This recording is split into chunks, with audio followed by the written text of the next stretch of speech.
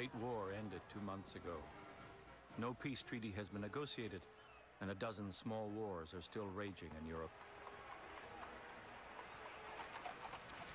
Most of the world's leaders are coming to Paris to find a way out of this mess. It is called the Paris Peace Conference. Its repercussions will be felt for the next 100 years.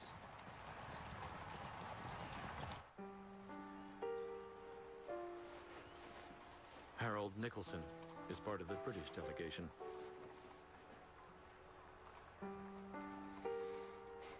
Like most of Paris, Nicolson wants to see the politician they're calling the god of justice.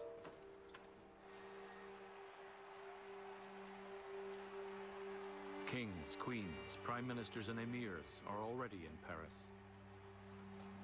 Now the deity arrives. He is Woodrow Wilson, President of the United States of America.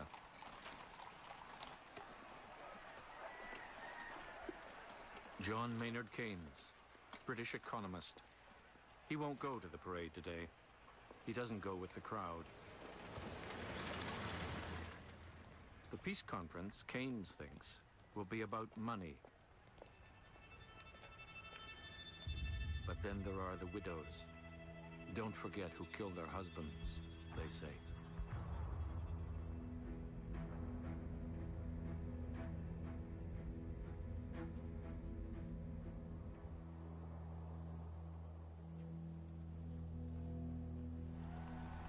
The people who killed their husbands, the Germans, are not in Paris today.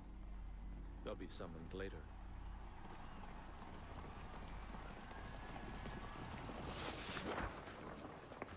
Où est la Chine On retravaille dessus.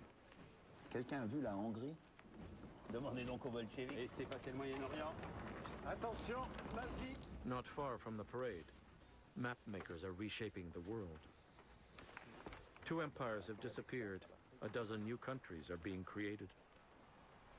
Écoutez-moi cette foule.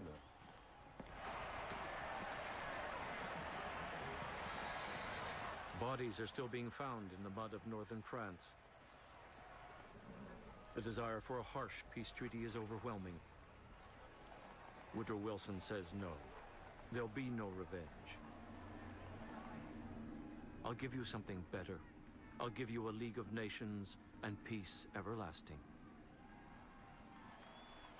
He has inspired the world as no leader in history.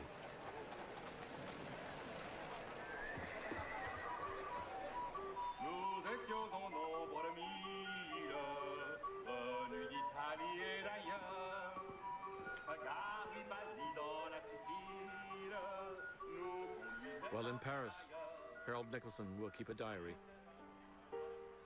January the 20th. We are all dependent upon America, not only for the war that has just ended, but for the peace before us. The Americans have won the war, now they will win the peace.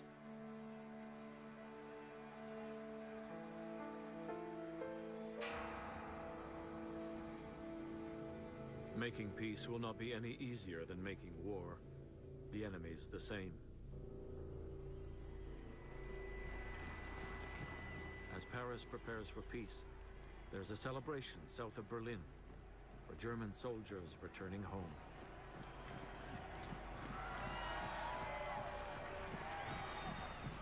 Many Germans don't think they lost the war. They signed an armistice, not an admission of defeat.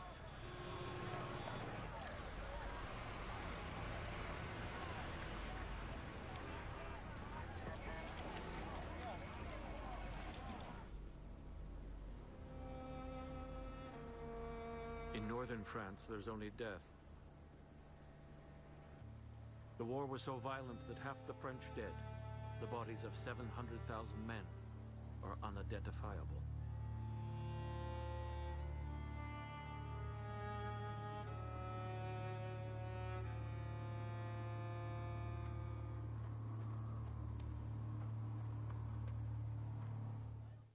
Thanks to the venture card from Capital One, we get double mark.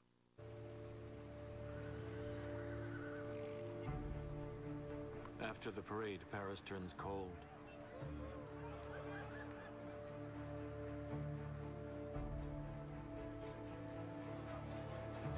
Ten thousand politicians, diplomats, arms sellers, and spies are arriving for the peace conference. Many have never seen snow.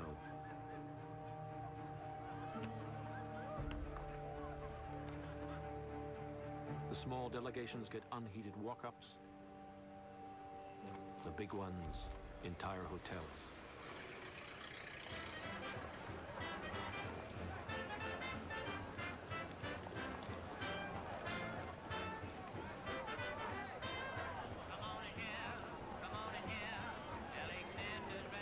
As the delegations total up their claims against Germany and her allies, Paris comes alive once again.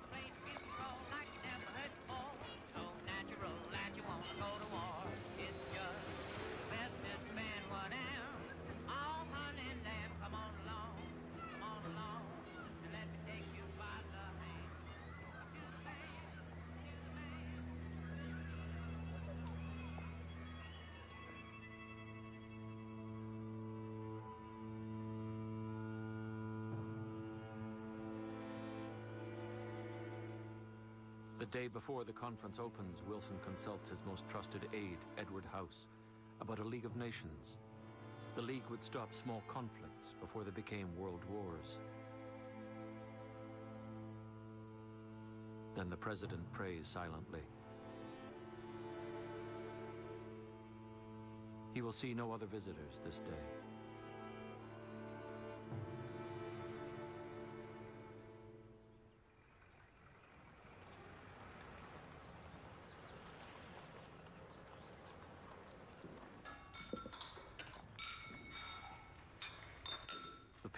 Talks will take place in the Ministry of Foreign Affairs, the Quai d'Orsay.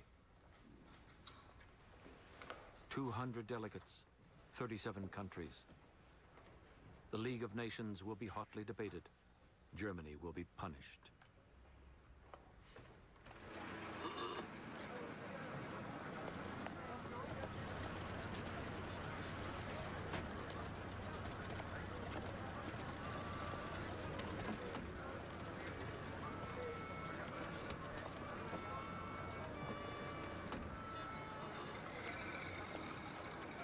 For the first time in history, a world conference will be open to moving picture cameras. The politicians will be speaking to the world. Monsieur le Président, Mesdames, Messieurs, je déclare la conférence de paix de Paris officiellement ouverte. There are five countries at the head table. They are known as the Supreme Council. Together they have lost about three million men in the war. The smaller powers that fill the room have lost another two million. Georges Clemenceau, the Prime Minister of France, is the chairman of the conference. In deference to President Wilson, Clemenceau speaks in English. I don't think there is any question that we are here to decide the issue of German guilt and ultimately of German reparations. We want our countries made whole again. History has taught Clemenceau everything he needs to know about war. You make alliances, then you fight other alliances. The League of Nations is for dreamers. Monsieur David Lloyd George, Premier ministre de la Grande-Bretagne. Lloyd George has just won an election by promising he will get $300 billion from the Germans. I too believe the issue of reparations must be dealt with soon. It is not just to compensate the victims for losses, terrible losses, unimaginable losses. It is what is right. Those who suffered, the French, the British, the Italian, the Belgians, and plenty of others, they want compensation for the war. Monsieur Vittorio Orlando, Premier ministre d'Italie. Italy flirted with joining Germany in the war. Then she got a better offer from the Allies. Italia would very much like to discutere dall'Adriatico, which is of vital interesse per nostro futuro. We need a port, a harbor. The port Italy needs is for her warships. Unfortunately, it belongs to Yugoslavia. Italy is broke and near anarchy. Messieurs, la Boîte Makino, le Japon. Japan. She helped win the war for the Allies in the Pacific. She wants territory that belongs to China. It is estimated the conference will last three to four weeks. During that time, it will be effectively a world government. At the center of it all, one visionary politician who will save the world. How long must we repeat history before we learn that revenge won't work? I have every confidence. The League of Nations will change that.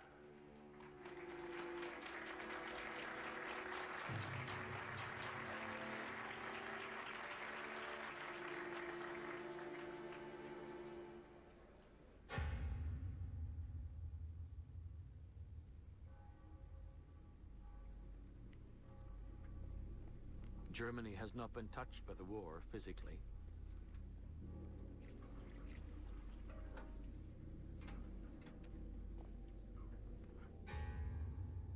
But she has lost 1,700,000 men, suffered 37 million casualties.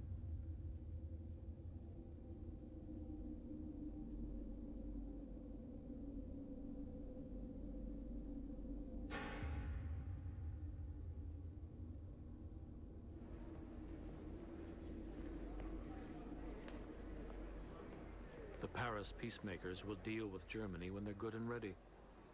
In the meantime, the leaders have other business. Australia did its bit in the war. We're 300 million pounds sterling in debt right now. We need New Guinea to balance our books. The small powers line up to congratulate their patron saint. A League of Nations might give them a better chance of survival. In the meantime, they would like to be rewarded for supporting the Allies. Eleutherios Venizelos, Prime Minister of Greece. He's looking for land. The Emir Faisal is looking for an Arab country to govern. Perhaps Iraq. نحن العرب خصوصا المثقفين منا لنا نظرة عميقة ومتجانسة للحركة الصهيونية Chaim Weizmann, Zionist. he wants a Jewish homeland in Palestine.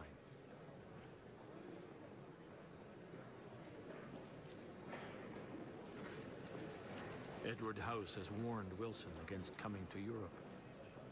These are countries that solve their problems with the gun, he says. Nicolson writes, you could not avoid a feeling of awe at the terrible responsibilities shouldered by the statesman. The fate of mankind was hanging by a thread. All over Paris, hundreds of experts are crafting different parts of the peace treaty. John Maynard Keynes has set up the British Reparations Committee in an empty school. For France, this is what we have so far. Inhabitants driven from their homes, 2,732,000. Villages devastated, 4,022. Houses completely or partly destroyed, 594,616. Factories destroyed, 20,539. Livestock carried off, 1,360,000. The British numbers aren't in yet. Not so many farms, but her shipping is decimated. The real problem will come when each country tries to put a dollar figure on what a dead soldier is worth, what he might have earned had he lived. No accounting of any war in history has tried to do that.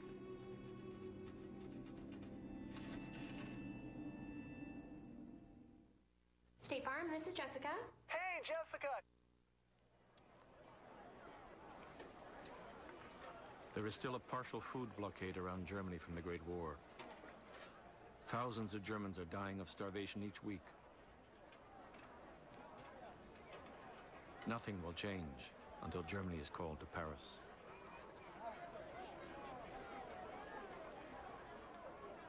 We have an absolute right to punish those responsible for crimes for which no equivalent can be found in the Napoleonic Wars. We must not make an enemy of Germany.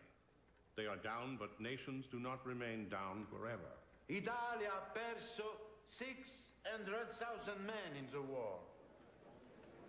Non possiamo parlare dell'Italia un poco adesso? Eh? Per favore. We have been promised territorio. 帝国日本は 我が国にとって極めて重要な至難いくつかの章について議論したく存じます China, as so many countries, is counting on Wilson to protect its territorial integrity. Delegates know the conference is the last opportunity to acquire territory before borders are frozen. The League of Nations will offer security that until now only could be found by military alliances. Once you prepare for war, you get it. So maybe for once we prepare for peace.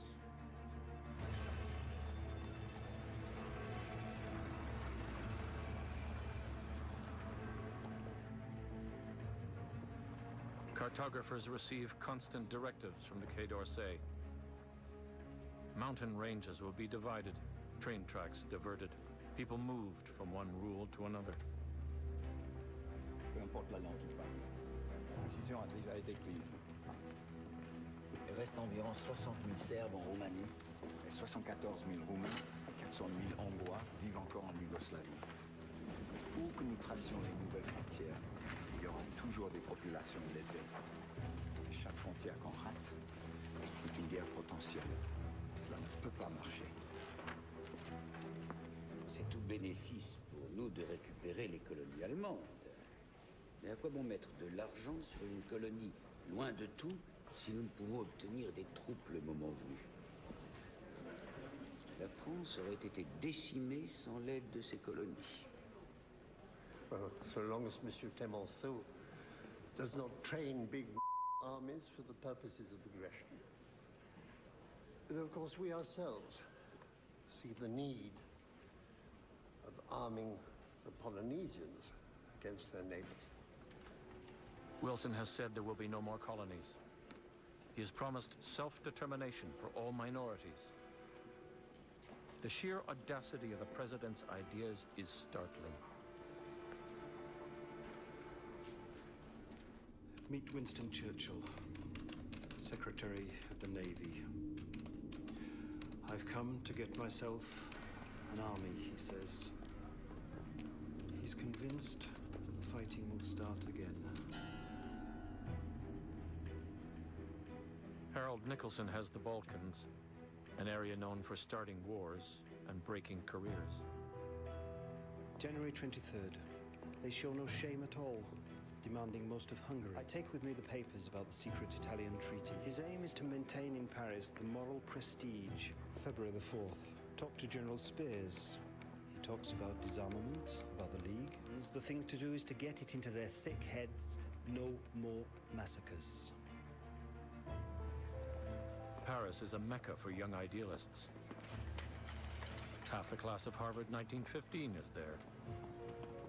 The other half died in the war.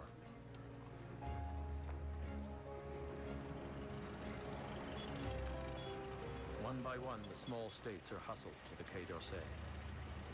Each will get a few minutes before the Supreme Council. C'est grâce à vous, Monsieur le Président Wilson, que le peuple tchèque, český národ, po třech staletích znovu nabil svobody a nezávislosti de plein droit. Il a retrouvé la souveraineté. فنحن مستعدون للقتال ولا استطيع تصور ان حكامنا مجتمعين هنا سيعاملنا كما عملنا الطغاة في الماضي انني ولكن بانهم تدفهم ناوي السمية والنبيلة فاعل لم تكن تلك The small powers often come bearing gifts. The Middle East has oil. Edward House says, we don't need Arab oil. We've got Texas. We have always lived with the gun. During the Cretan insurrection, I escaped into the mountains. I was one of the rebels. In the hills, I used to read the Sunday Times to learn English, but my rifle was always across my knee. As the newly created states profess allegiance to the man of peace, their agents prowl the Paris backstreets looking for arms to buy. The old way of doing things will not die overnight.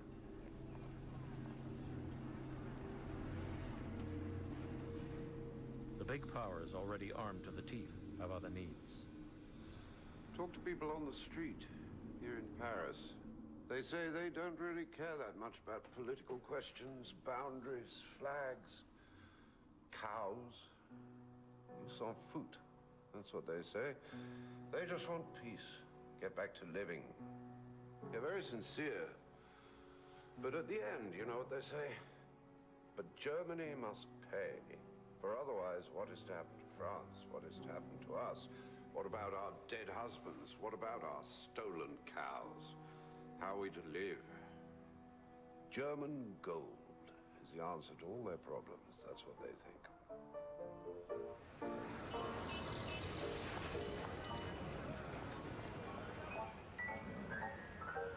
Moving pictures are being shown with French actors playing the dreaded Hun. Making peace in this atmosphere of simmering hate will be difficult. Nicolson writes, My attitude toward Germany was a compound of fear, admiration, sympathy, and distrust.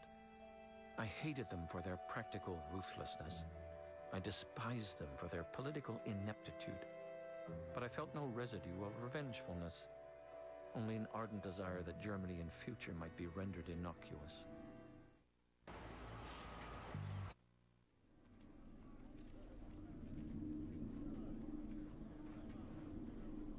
Northern France, many world leaders take time out from diplomacy to walk the trenches. Wilson refuses. Peace must not be made with emotion, he says. Rarely does Wilson stray far from the Quai d'Orsay. Coached by Edward House, the president is proving to be a quick study in the sometimes disagreeable art of compromise. A month into the conference, a young activist named Ho Chi Minh from the French colony of Indochina requests an audience before the Supreme Council.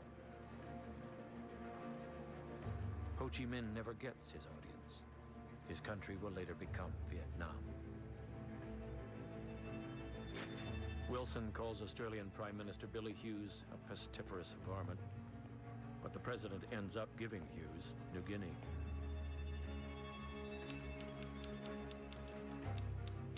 It is sad to see people who have come all the way from Adrianopolis given only 10 minutes in that large hot room in front of five bored people. The lives of several thousand people are being changed at the stroke of a midnight pen.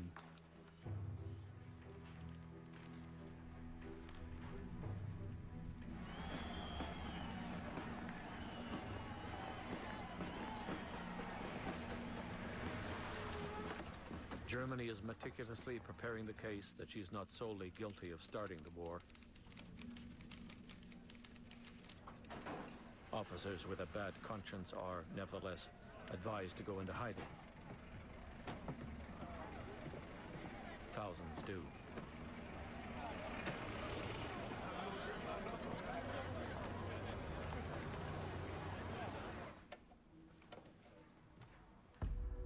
Meanwhile, is proving to be as good as his contrarian reputation. He is advocating Germany pay only for physical damage, not the $300 billion his boss, Lloyd George, is demanding. The widows might have to fend for themselves. André Tardieu, Clemenceau's foreign minister, writes Keynes's insular egotism cannot grasp what invasion means. Wilson, too, is advocating moderation for German reparations. This puts him squarely at odds with Lloyd George, who has promised to pick the German pockets dry.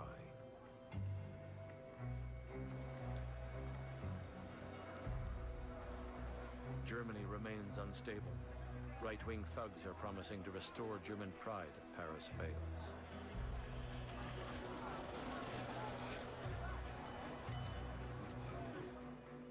Foreign Minister Count Ulrich von Brockdorff-Rantzau is chosen to head the delegation that will go to France. The Count is one of the few high officials who doesn't have blood on his hands from the Great War.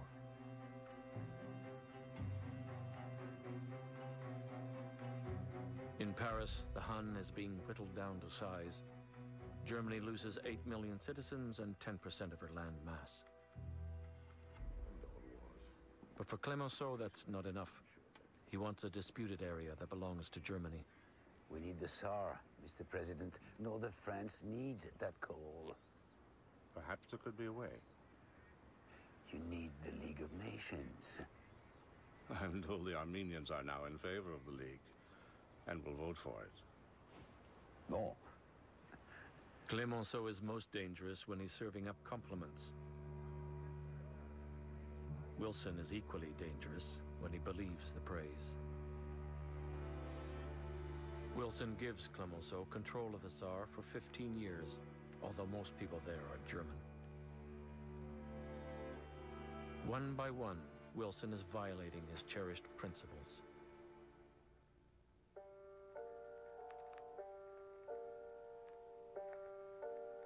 The force of compulsion of Woodrow Wilson in those early months of 1919 was overwhelming. It never occurred to us that if need arose, he would hesitate to use it.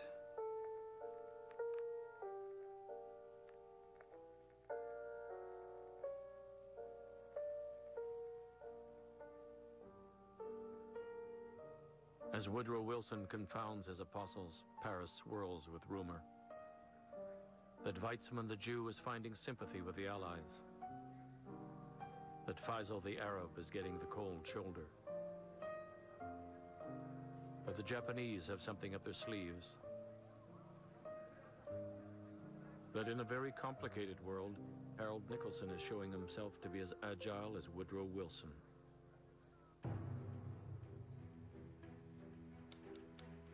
Everything is being rushed at a feverish pace. The Saar, reparations, everything is boiling over at the same time. Keynes has figured out a way to balance the French accounts by having Britain's National Gallery acquire paintings by Manet, Corot, and Delacroix at bargain prices. Nothing is sacred in Paris. The president often consults House about his frustrations with Europe. House's response, we're dealing with men, not angels. Wilson is using every bit of America's economic clout to get the League. He doesn't like having to bargain, it offends him. But for the League, he will do anything.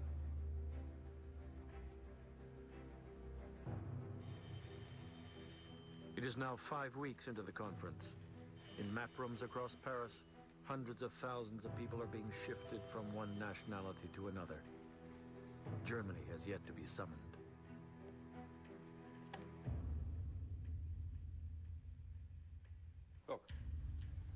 Two choices. Either we cancel Germany's debt entirely and let her rebuild and become a partner in the world community. Not a chance, John. Or we open our markets to her goods to let her earn the money to pay us back. We could never do that. Our workers wouldn't permit it. The peace conference is in danger of collapsing. Nobody can agree on reparations. Everybody wants land. And there are egos. The League will have a force in Europe. How fast can your league get here? Fast enough, I think. Do you really think so? If the Germans leave after dinner, they can reach Paris before breakfast. Besides, I'm hearing different things about your Congress. If the Russians come knocking, will the League be able to stop them? I'm quite sure the League will not be strong enough either for Germans or for Russians. Italia will certainly do her part, but for that ne abbiamo bisogno di un porto e territorio sull'Adriatico. If Russia and German Join forces? What would your league do? Will your Congress declare war on foreign soil? Let the American guys die under the League of Nations flag? Most certainly. But America's not threatened. I don't think so. That's not what I'm hearing from Washington. Peace is a risk. France has to risk it now. France has everything in its hands if it will only risk it. America will want its money back sooner or later. America has already made a killing, the war in trade. She can afford to wait. The world will stop celebrating soon, and then accounts will have to be settled. You'll get your league, Mr. President. I promise you that. It's just that we need our own protection. We are not like you. But we all want what you want, Mr. Prime Minister. I think we all want that. We'll get your league. We'll not disappoint you about your league, Mr. President. Then I suspect you'll be able to breathe a little more easily. Edward House writes, When I telephoned the president at 7 o'clock that we had finished the League covenant, he was astounded and delighted. A toast is offered to the League of Nations and to President Wilson's courageous vision.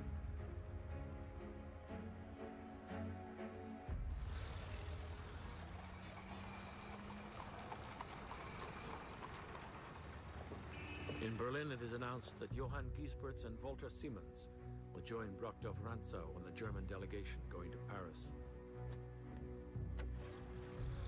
Like everyone else, the Germans believe Woodrow Wilson will give them justice.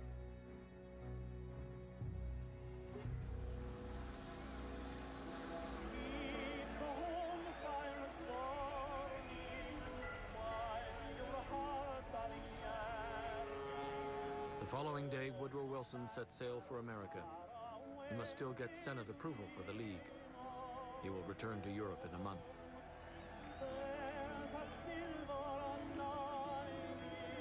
Wilson has achieved an astonishing triumph.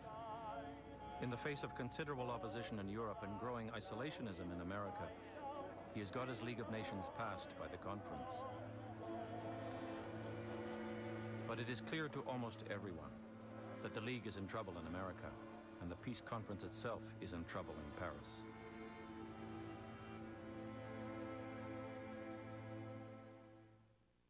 The Military Channel.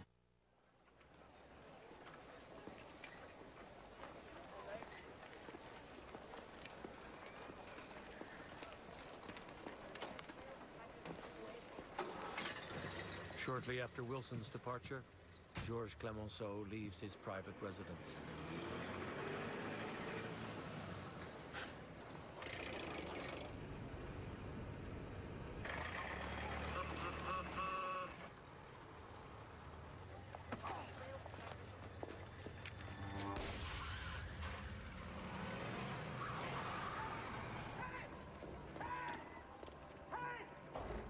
Messieurs, j'ai le regret de vous informer qu'on a tiré sur le Premier ministre français cet après-midi.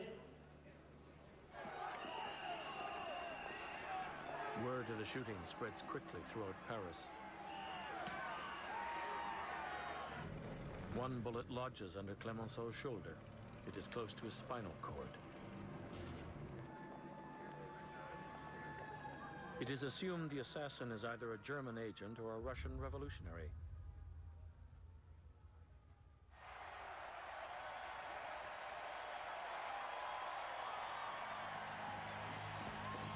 Wilson hears of the shooting in New York. He's profoundly shaken.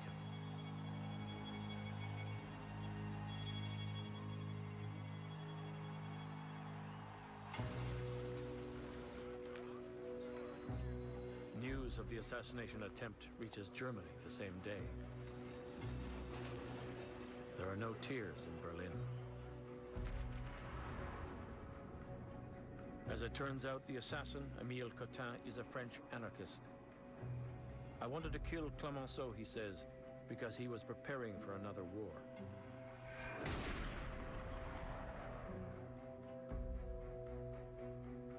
The French Prime Minister, with a bullet permanently lodged in his body, is more linked to his soldiers than ever. Since the attempt on Clemenceau's life, Paris bristles with detectives. The French have learned that some anarchists are after Venizelos' blood.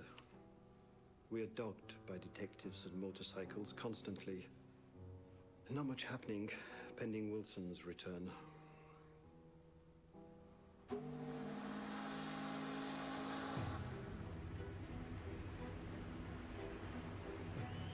Physically weak from non-stop negotiating, Wilson is once more sailing into the unknown. To add to his woes, the president is also receiving disturbing telegrams about the activities of his confidant, Edward House.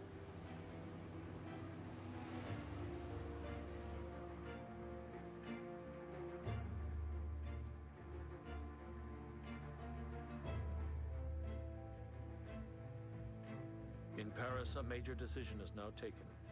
Henceforth, the Supreme Council, minus Japan, will meet in private.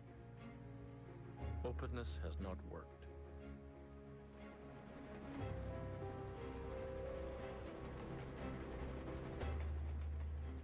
During wars, secrecy may be necessary. Wars are by nature undemocratic. Whether peace benefits from secrecy is another question.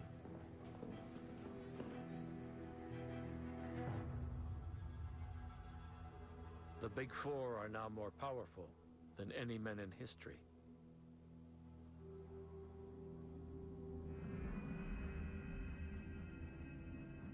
The war is never far away from the peacemakers.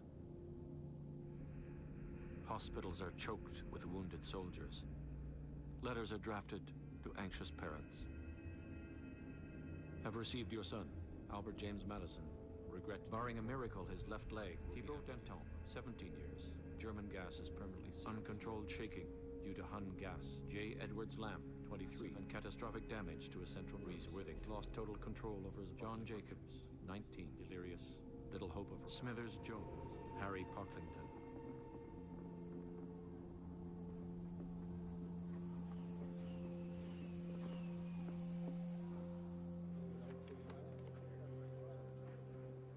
The Big Four were all highly successful wartime leaders. They are now discovering that making peace is sometimes more difficult than making war. We regret to inform you that at 2:13 p.m. your son left this earth.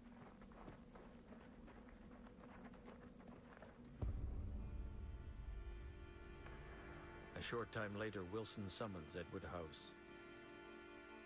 Wilson feels he's been negotiating behind his back. The Europeans prefer House to Wilson. He's willing to compromise. Wilson tells House the president alone makes American policy.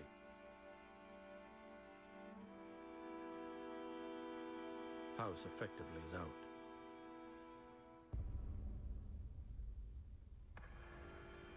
With Edward House gone, President Wilson is more isolated than ever.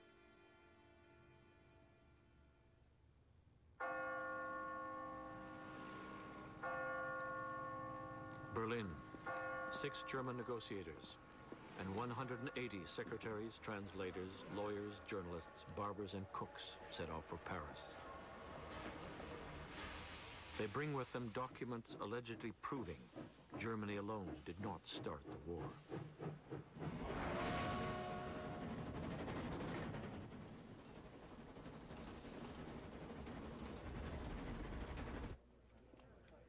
Big Four will monitor the train's progress in Wilson's study. This is what the world has waited for. The surrender of German colonies must be total and definitive. The surrender of the German Navy, total and definitive. They are on their way.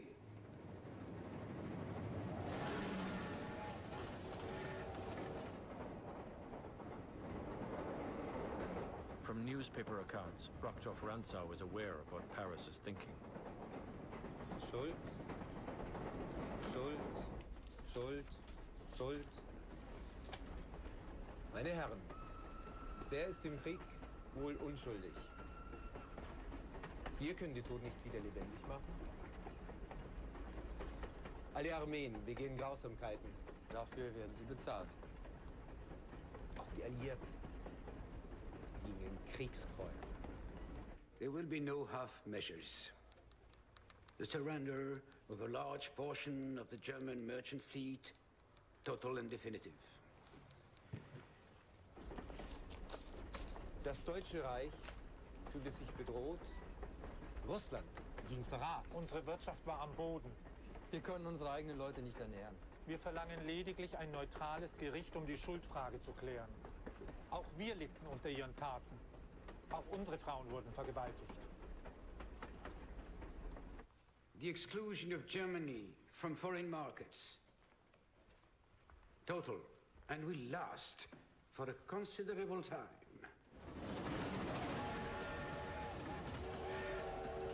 No admission to the League of Nations, not now. When? I don't know, sometimes in the future. And I want to know what each of those German delegates did during the war. These are not negotiable. The remedy is not proportional to the evil. They were the first to use poisonous gas. It was the German that began the bombing and long-distance shelling of towns for no military object, but solely for the purpose of reducing the moral of their opponents by striking at the women and children. They drove thousands of men and women and children with brutal savagery into slavery in foreign lands. They allowed barbarities to be practiced against their prisoners of war, from which the most uncivilized people would have recoiled. How much German gold?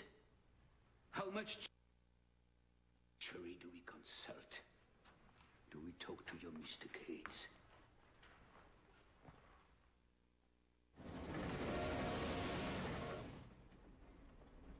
Walter Simons, the lawyer for the German delegation, often writes to his wife during this time.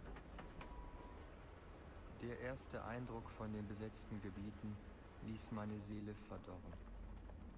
Dann allerdings kam Nordfrankreich.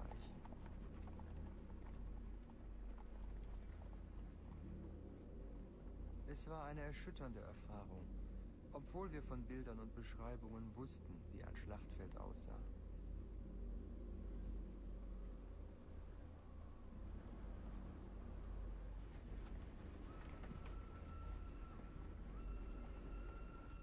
This is Melchior. He's Jewish, a banker. He's bringing with him two other bankers, Warburg and Wasserman. Jews?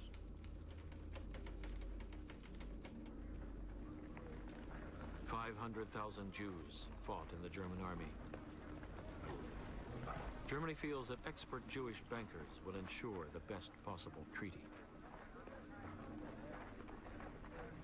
Is the train going to be stopped? Several times, sir. I'm told it's immobilized now. Where? Verdun.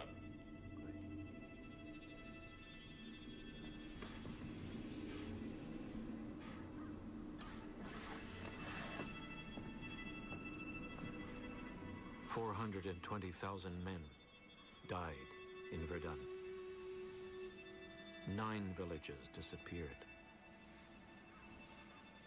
There's not a single tree standing.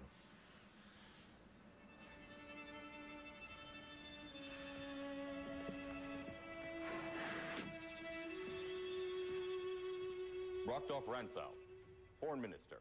He's the leader, very tough. Herr Giesberts, postmaster general. Not much information on him. Dr. Walter Simons, German Foreign Office, specializes in law. He'll probably be doing the writing for the delegation. The lies. Is he reasonable, Simons? He's German. The voyage through the Germans' handiwork is half over. Die Staatsarchive sind versiegelt. Wir haben keine Dokumente, die die wahren Motive unserer Führer zu Kriegsbeginn enthüllen. Führer machten sich eindeutig der groben Fehleinschätzung schuldig. Die Invasion Belgiens hätte nie stattfinden dürfen. Das werden wir anerkennen. Wir haben bereits gesagt, wir werden für Belgien bezahlen.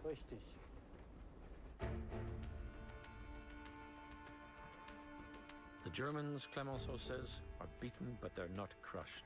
We must finish the job. For those who died and for those who have yet to be born.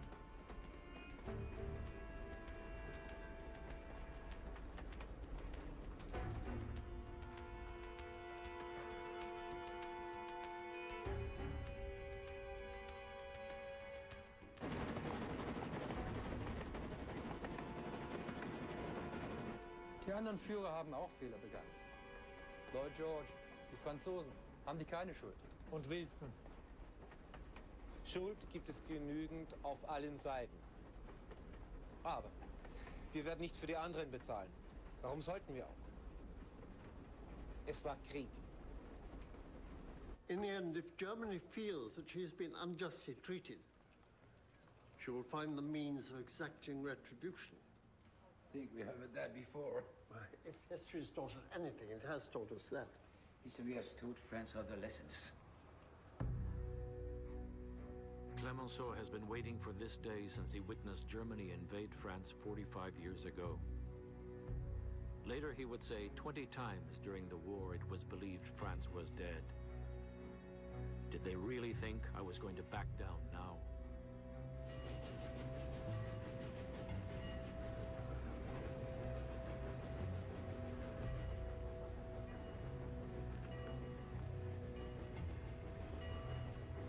French authorities, fearing riots, have directed the train to an isolated station near Versailles.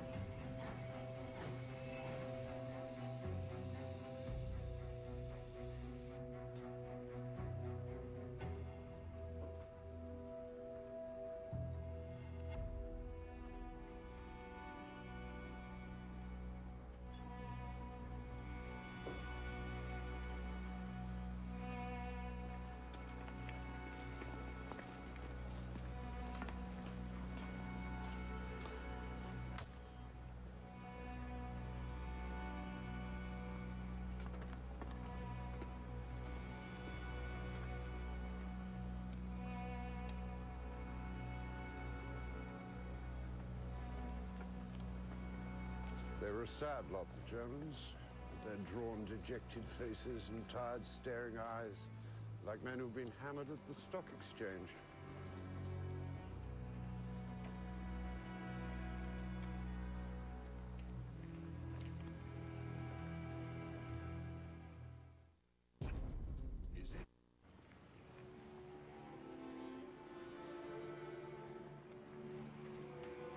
Delegation is immediately transported to Versailles.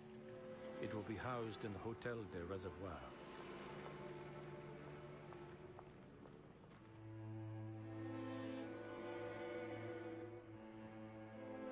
The Germans established their headquarters in the hotel basement. They are certain there are listening devices in the walls. That their phones are being tapped. They are right.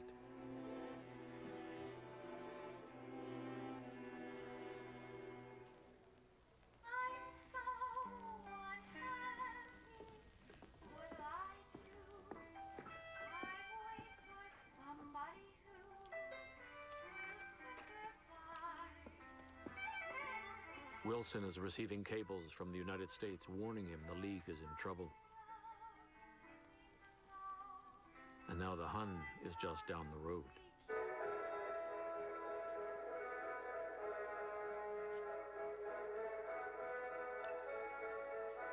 The Germans are playing music loudly to hide their conversations from Allied ears.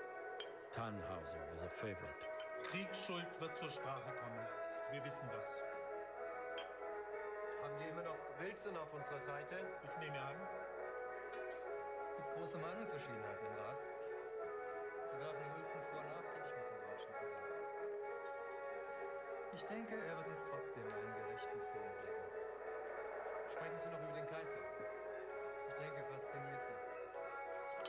The Kaiser's under house arrest in Holland. The Germans would be humiliated if he were prosecuted.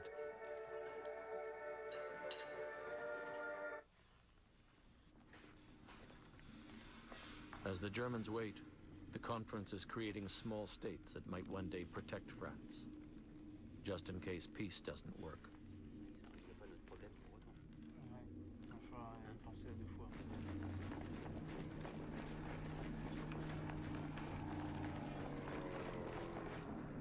Fifteen weeks into the conference, 100,000 troops a month are still coming home. They bring with them stories of German atrocities.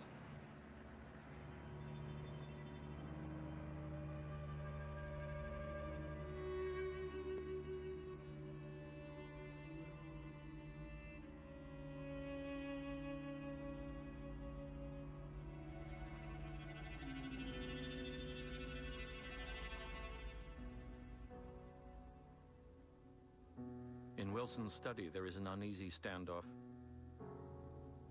Three of the leaders are old school politicians who seek security in midnight alliances. The fourth has brought his Bible to a poker game.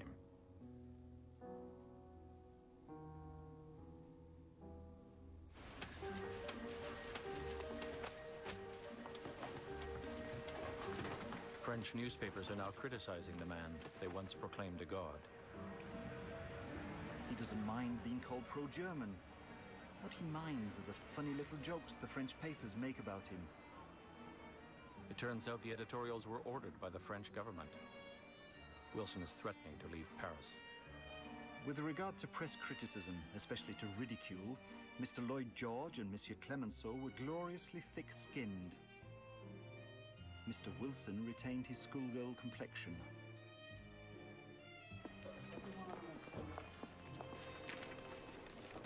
As the negotiations drag on, Hungary succumbs to communism.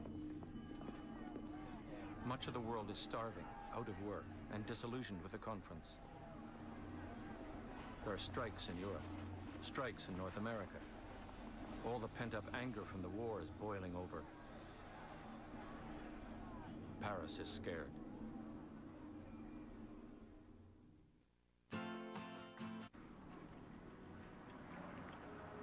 The spring of 1919 is particularly cold in Paris.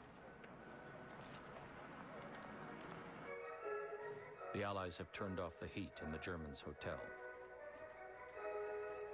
Der Druck der russischen Armee auf die deutsche Grenze, das muss dargelegt werden. Wir brauchen Beweise, die müssen aus Berlin kommen. Stellen Sie das bitte an. Der um 14.30 Uhr. Ich komme dann zum Unterschreiben. Simons, ich habe Ihnen gerade gesagt, bevor äh, die Schreiben nach Berlin wegkommen, die Eilschreiben, dass wir unbedingt die Unterlagen brauchen zwischen dem Grenzzustand mit Russland von Anfang 1913 bis Ende 13. When would you like to send for the Germans? They want to know. We've got a few details to clear up with the draft proposal of the treaty first. Why not let them enjoy the French countryside? It's been a grueling trip, not easy. Qu'on laisse un peu ces salopards se montrer devant tout le monde.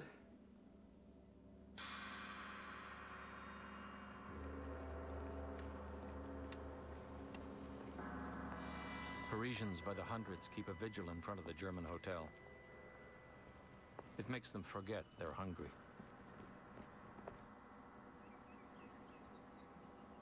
Gestern und heute nach dem Frühstück war ich im Park, wo es schöne Bäume gibt.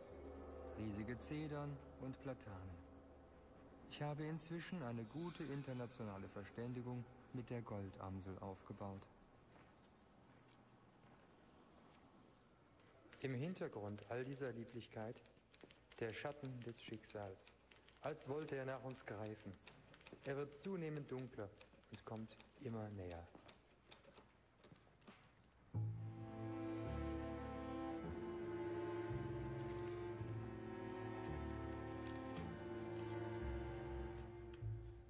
After months of negotiation, it has become clear each of the Big Four wants a very different kind of peace. Britain wants to continue to rule the seas. Italy's out for loot. France wants protection against the day when Germany might return. America wants the world's conscience, wants her loans repaid.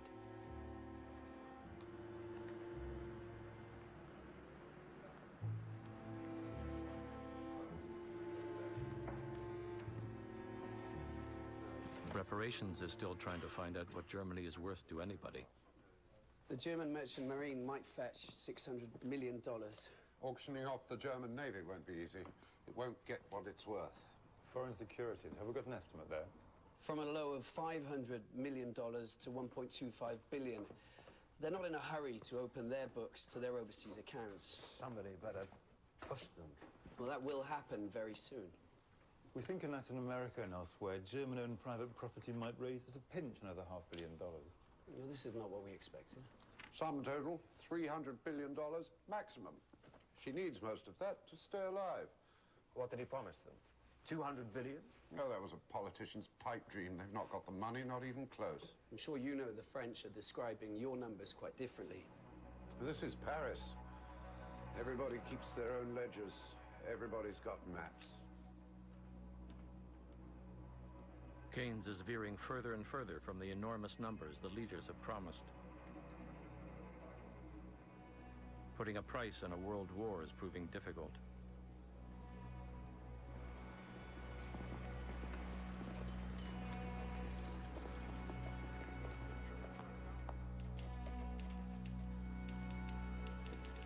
Days pass. The Germans hear nothing. Brockdorff Rantzau tells Walter Simons to write two responses to the treaty, whose contents he can only guess at. One response will be conciliatory, one harsh.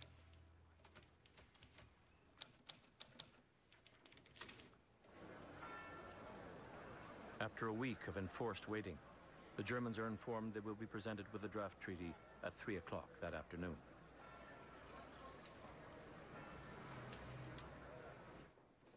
In zehn Minuten werden uns die Automobile zur Sitzung im Trianon Palace Hotel bringen, wo wir die Friedensbedingungen unserer Feinde hören werden. Sie werden auf die eine oder andere Weise für kommende Generationen über die Zukunft des Deutschen Reiches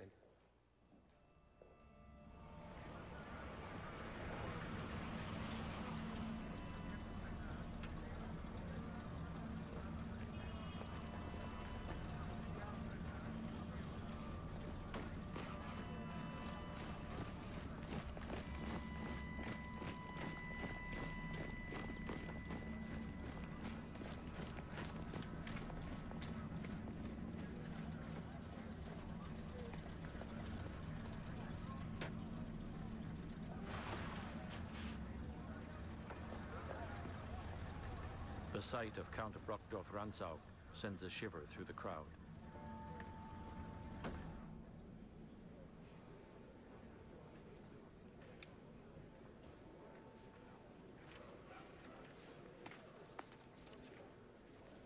L'heure de notre pénible règlement de compte a sonné.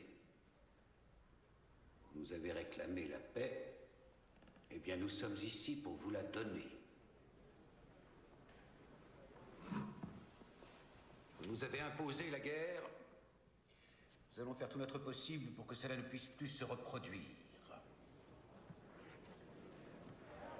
The terms of the treaty are harsher than the Germans ever imagined.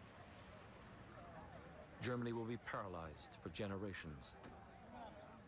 Brockdorff Rantzau knows which speech to use. Meine Herren,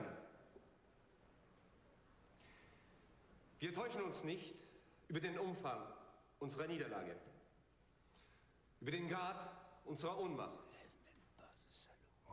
Wir wissen, dass die Gewalt der deutschen Waffen gebrochen ist. Wir kennen die Wucht des Hasses, die uns hier entgegentritt. Und wir haben die leidenschaftliche Forderung gehört, dass die Sieger uns zugleich als Überwundene zahlen lassen und als Besiegte bestrafen sollen. Es wird von uns erwartet, dass wir uns hier als die allein Schuldigen bekennen. Ein solches Bekenntnis wäre in meinem Munde eine Lüge. Möge Graf Otto Franzau trotz allem seine Würde und seine Selbstbeherrschung bewahren. Meine liebe Frau, in diesen bitteren Stunden spricht deine mutige Seele zu mir, als wäre es die Stimme meines gesamten Volkes. Der Vertrag, den uns die Feinde überreicht haben, ist, insofern ihn die Franzosen diktiert haben, ein Denkmal krankhafter Furcht und krankhaften Hasses.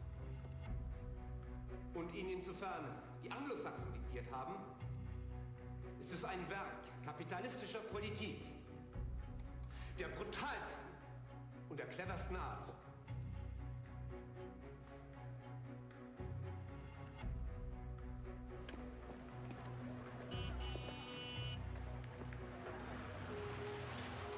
Brockdorff Rantzau has caused a sensation.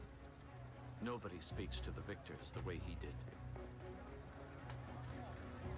The young diplomats worry about pushing Germany too far. Andrei Chardieu replies, You worry about provoking nationalist feelings in Germany? Germany's defeat in the war beat you to it. So what?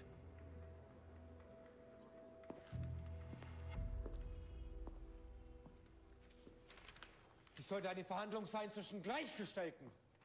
Wir haben Beweise, dass wir nicht allein für den Krieg verantwortlich sind. Sie müssen uns anhören. Dafür sind wir hier. Das hat uns Wilson versprochen. Welcher Friedensvertrag wird von der einen Seite der anderen ohne Diskussion aufdiktiert? Sie müssen verrückt sein. Meine Herren, wir wurden betrogen. Wir wurden betrogen!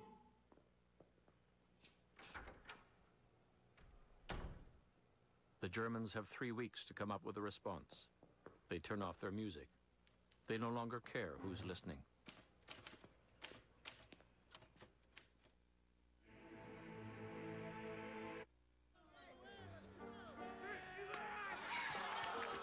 Paris waits for the German response, spring arrives.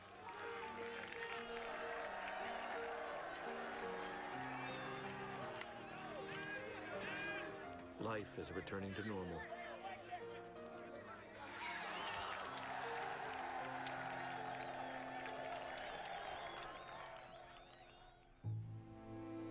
Three months into the conference, Harold Nicolson has maneuvered himself close to the inner sanctum. Wilson takes a map, spreads it on the carpet in an alcove room, and kneels down. We all squat in a circle around him. The president throws back his great face. Well, he exclaims, I didn't come there to discuss competence. In my judgment, the test is what the people themselves want. I was conscious there was in Wilson's pronouncements a tinge of revivalism, a touch of Methodist arrogance, and more than a touch of Presbyterian vanity.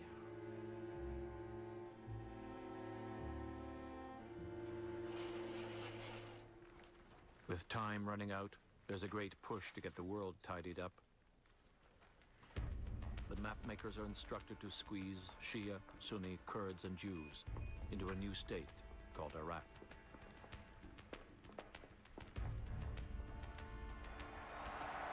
In Berlin, there are massive protests. German Chancellor Philipp Scheidemann shuts down entertainment for a week to protest the draft treaty.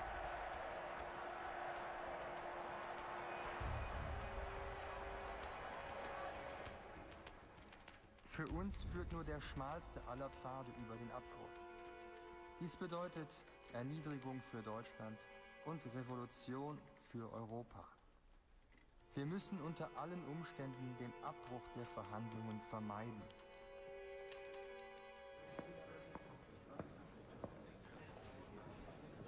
Constant messages are being sent from the Germans to the Big Four requesting a moderation of the peace terms. The Big Four have problems of their own. America asks nothing by way of reparation. Damages did she suffer? She spent millions of dollars and thousands of lives. In lives, America lost a little less than Australia. I'm very unhappy, Mr. President. I have a lot of problems with the socialists and Bolsheviks. And you are cutting my throat. The treaty must be accepted or rejected the way it now stands. In Rome, there are fascist leaders named D'Annunzio and Mussolini on the rise. Orlando is failing to get anything in Paris, they cry. I ask you for a few days to know at least in what sauce you intend to cook me, e lei si rifiuta. No. I've told you before, I will never accept bartering peoples like that. Italia satisfied will remain absolutely firm and calm. But an Italia discontented and disappointed, that will mean danger for entire world. You understand me? You do yourself a disservice. And your people. Orlando and his Italian delegation leave Paris in a huff. Belgium and Japan are threatening to go. The Chinese are not happy. Wilson is gambling. He still has the American people. Aber natürlich haben wir auch. Nein, nein. Und ich kann Ihnen sagen, Allied listening devices reveal frequent long-distance calls from Berlin to Brockdorff-Rantzau. das, das können Sie so nicht vorwegnehmen. Es verbleiben uns noch einige Stunden. Wir haben noch Karten in der Hand. Ja, aber natürlich.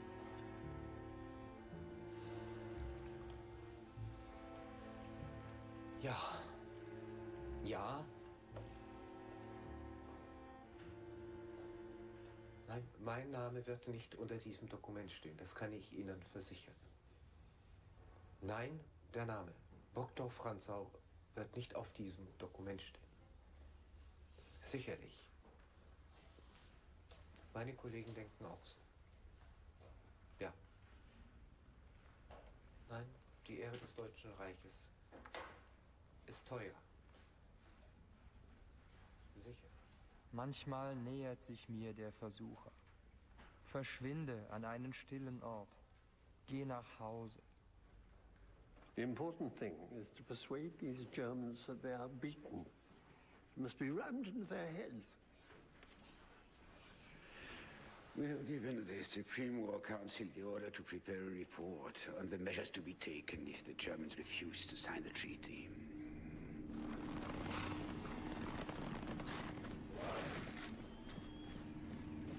The measures to be taken include a resumption of fighting, a full invasion of Berlin.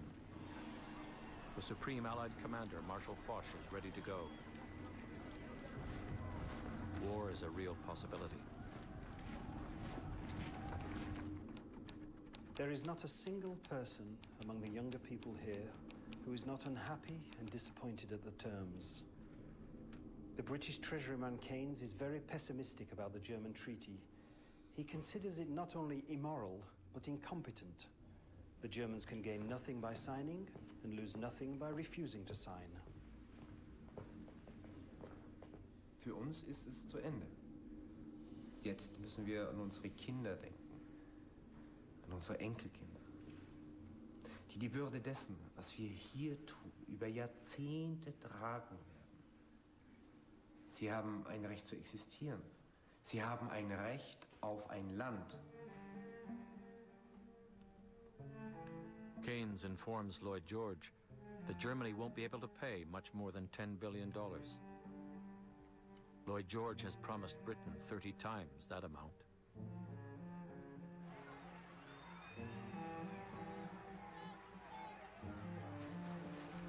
When the conference started, there was snow on the ground. Parisians were told there would be a treaty in four weeks.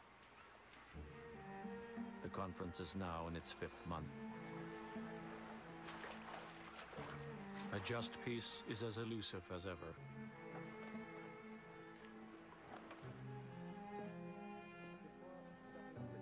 As the days pass, fewer calls are being intercepted between Brockdorff-Rantzau and Berlin. It is fear the Germans might look for friends elsewhere.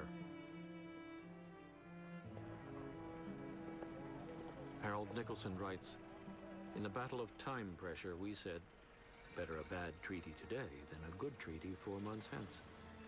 I was so confident we were doing it the best way.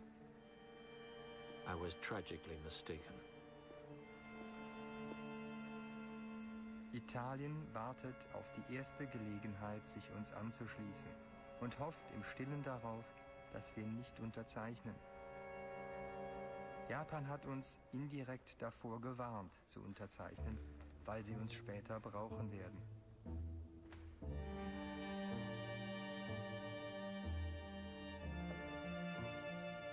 Brockdorf Rantzau is informed Berlin expects the war will start again if the treaty is not ratified. There is tremendous pressure to accept it.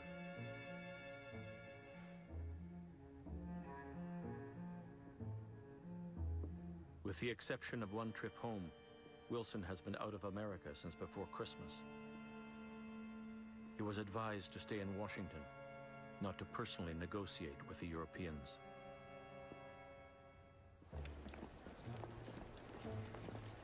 In Germany, people are at last coming to understand the hatred felt towards them. The days that follow are amongst the most momentous in the history of the world.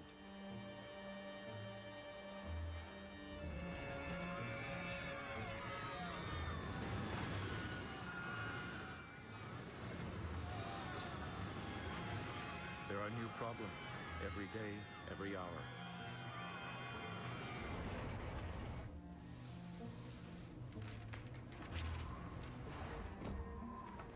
The one center of power in the world is Paris.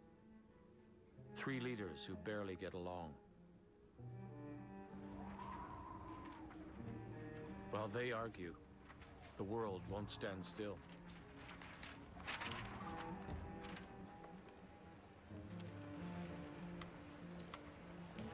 We're running out of time, Mr. President. Communism, starvation, workers' revolutions. All are overtaking Europe. They will soon jump the Atlantic. The Republicans are having a field day in the capital, sir. They think they've got the votes to block the League.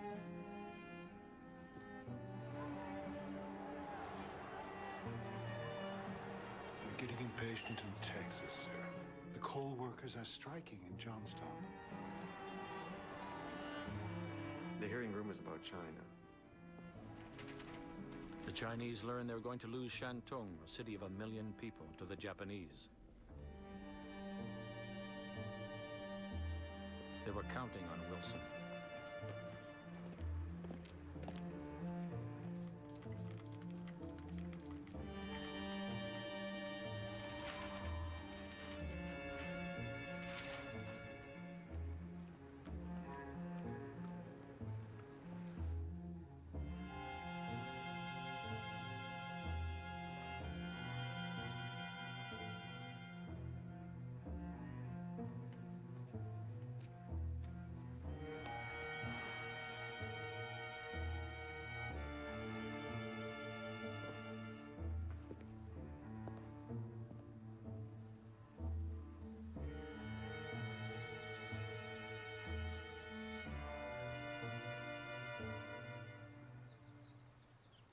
Très bien, merci.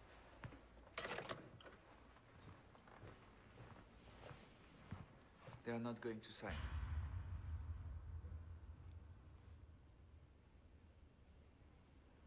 We must show the Junkers who is boss. There will be no compromise.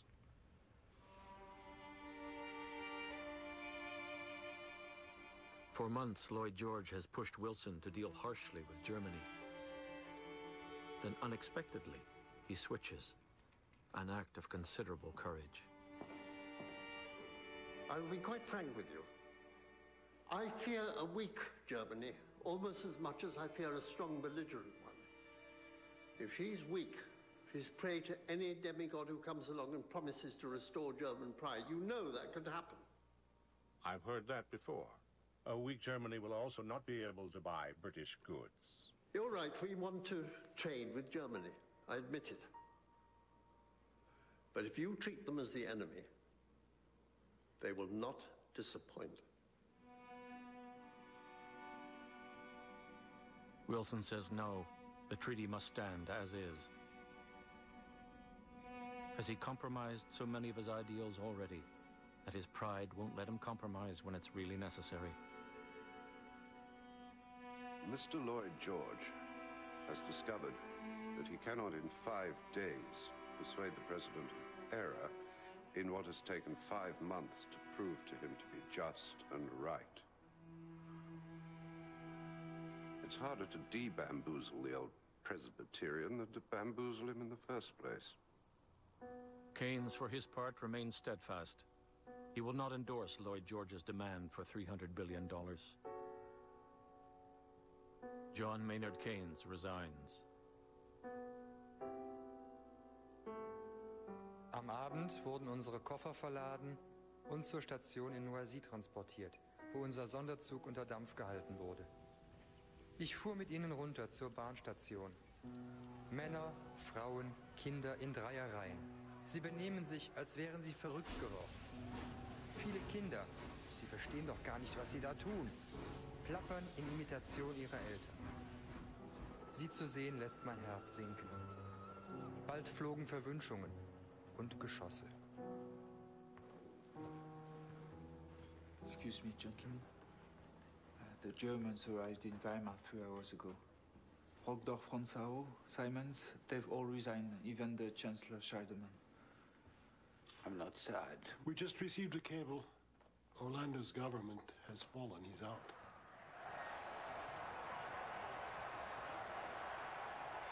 In Italy, black-shirted fascists are beating up detractors in the streets.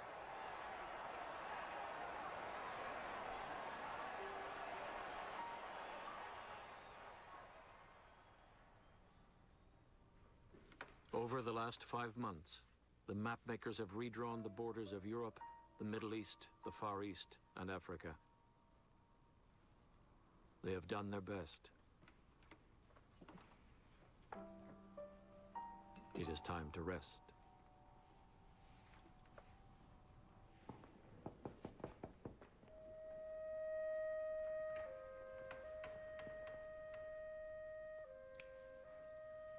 Wilson has exhausted all his moral and physical strength getting the League of Nations. Germany, he believes, will eventually become part of the League of Nations and redeem itself.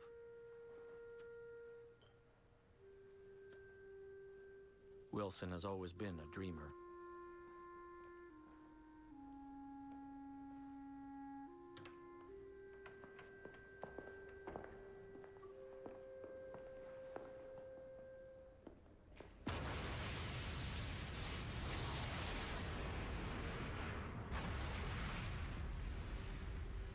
Two days before the signing, the Germans scuttled their interned fleet.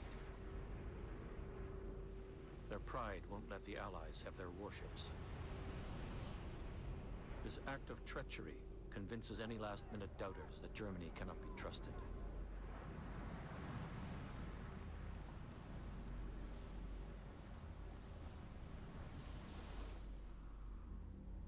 In the final days, a new government takes power in Germany.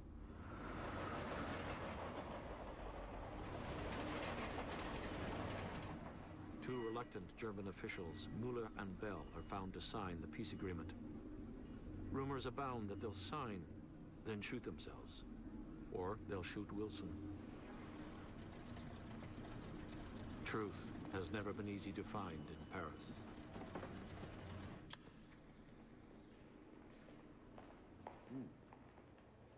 I told Mr. Lloyd George that he shouldn't leave the Germans too alone with their vessels. I think I know them better than he does.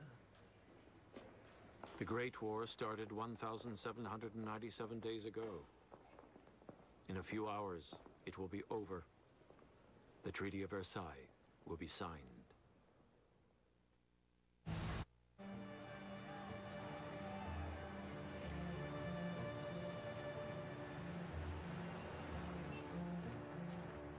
Harold Nicolson will witness the signing.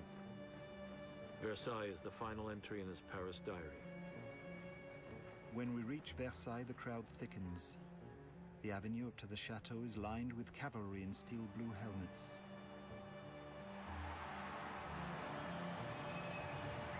The captured German cannon have tactfully been removed.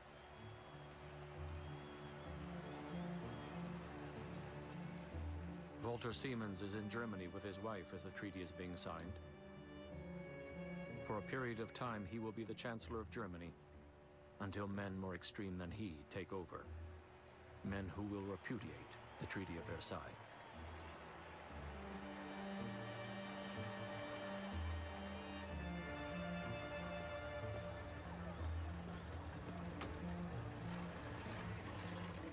Keynes is in London as the treaty is being signed. Oh, that was a politician's pipe dream. They've not got the money, not even close. His figure of $10 billion is almost exactly what Germany ends up paying. The Chinese decide not to sign the treaty.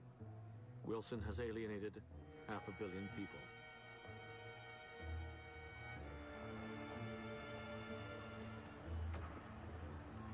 Vittorio Orlando is also not at the signing.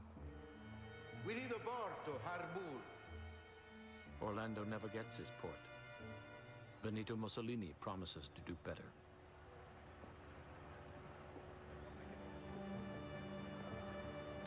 If she's weak, she's a prey to any demigod who comes along and promises to restore German pride. Britain doesn't get much in the way of German gold.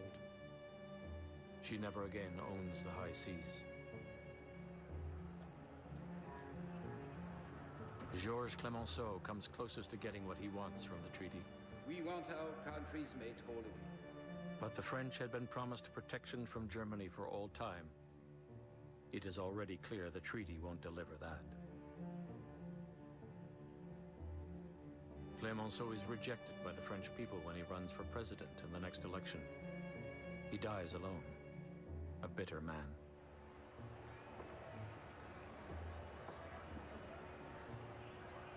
Woodrow Wilson returns to America and continues lobbying for the League of Nations. His health is not good. He pushed himself to the limit in Paris. I will never accept bartering peoples like that.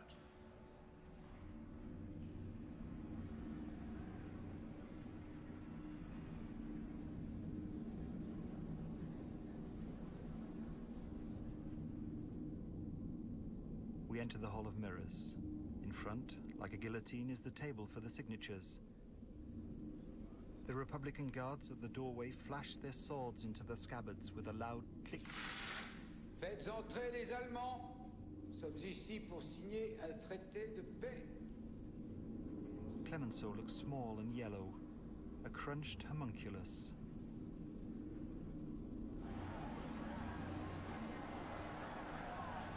Suddenly, from outside comes the crash of guns. It announces to the world the treaty has been signed. The Great War is finally over. Clemenceau emerges from the door below me. He's joined by Wilson and Lloyd George. The crowds upon the terrace burst through the cordon of troops. The top hats of the Big Four are lost in a sea of gesticulation.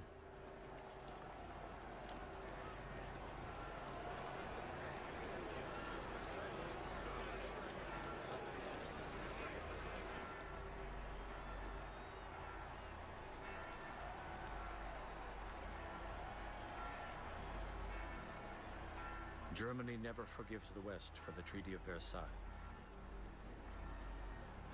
The winds of war are already blowing as Paris celebrates.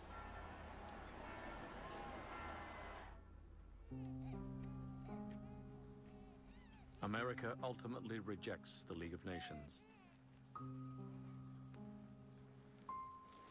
Woodrow Wilson dies two years later. He never stopped believing in the League of Nations.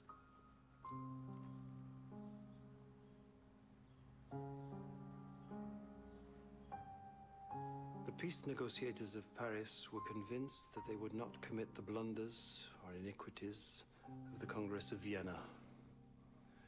Future generations will be equally convinced that they will be immune from the defects which assailed the negotiators of Paris. Yet they, in their turn, will be exposed to similar microbes of infection. To the eternal inadequacy of human intelligence.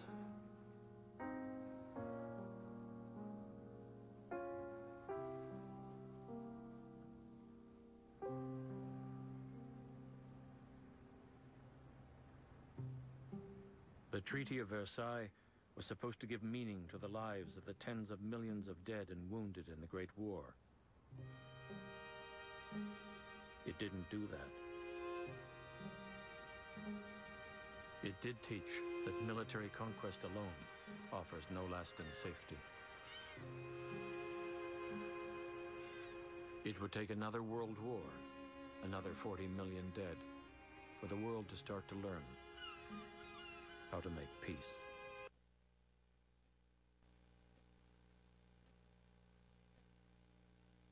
Devletimiz İslamiyet'in ve canı olan İngiliz ve Fransız hükümetleriyle muharip bulunuyor. Emir Hazretleri sizi cihada davet ediyor.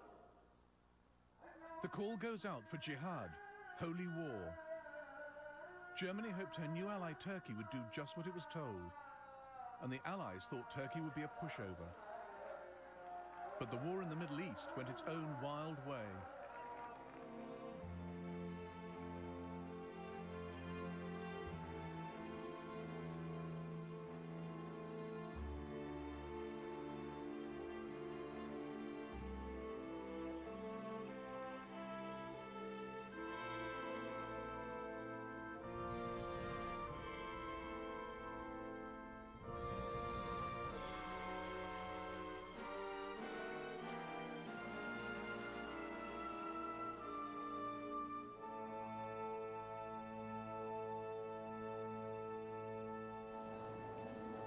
Kaiser had been cultivating the Ottoman Empire long before the war began. He wore a fez on state visits. He was nicknamed Haji Wilhelm, following rumors that he'd become a Muslim and made the pilgrimage to Mecca. The 300 million Muslims scattered across the globe can be assured that the German Emperor is, and will at all times remain, their friend. Part of Germany's interest in Ottoman Turkey was that they shared a common enemy, Russia. Turkey's position, controlling the Dardanelles Straits, gave her the power to lock Russia up in the Black Sea. And Turkey shared a volatile border with Russia in the Caucasus. The Ottoman Empire once stretched from the Arabian Peninsula to the gates of Vienna. But it had lost a third of its territory in a run of disastrous wars. The Ottoman Empire was the sick man of Europe, broke and on the verge of collapse. But one group of nationalist reformers planned to stop the rot the Young Turks. In 1909, they replaced the Sultan with his brother as a puppet and started a program of modernization.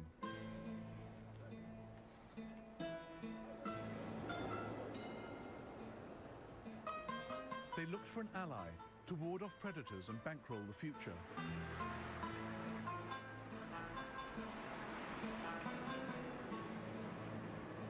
The ambitious Minister of War favored Germany. Just 32 years old, Enver Pasha had risen through the ranks, married the Sultan's niece, and lived in splendor in Constantinople, also known as Istanbul. Enver Pasha had been military attaché in Berlin. The Germans had the power his country needed. I watched a parade of 33,000 German soldiers. It was so excellent, it makes one's mouth water. The reason I love Germany is not sentimentality, but the fact that she is not a danger to my beloved country. On the contrary, our two countries' interests go hand in hand.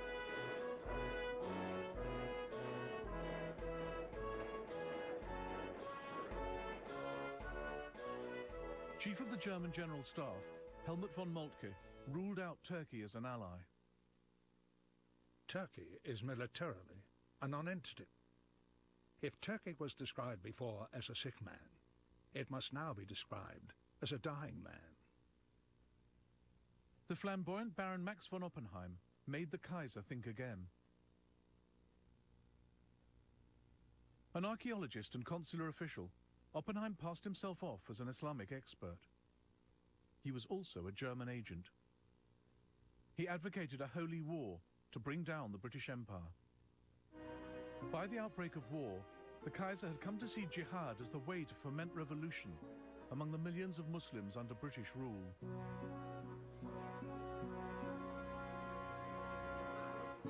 Our consuls and agents in Turkey and India must inflame the whole Mohammedan world to wild uprising. For if we are to be bled to death, at least England shall lose India. The Ottoman Empire had found its ally, Germany. Enver bypassed the Turkish cabinet, secretly signing an alliance on the 2nd of August 1914, while maintaining a public stance of neutrality.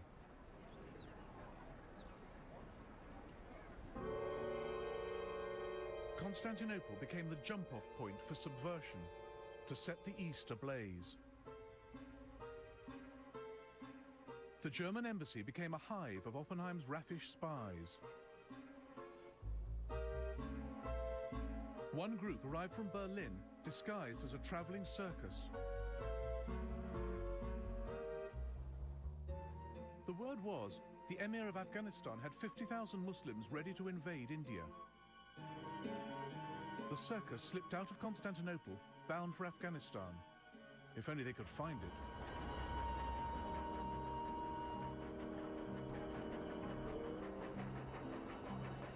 One of the Turks on the mission was Hussein Rauf. What do we know about Afghanistan beyond its name? I can't even visualize its place on the map. I don't know how to get there. Do I go via America?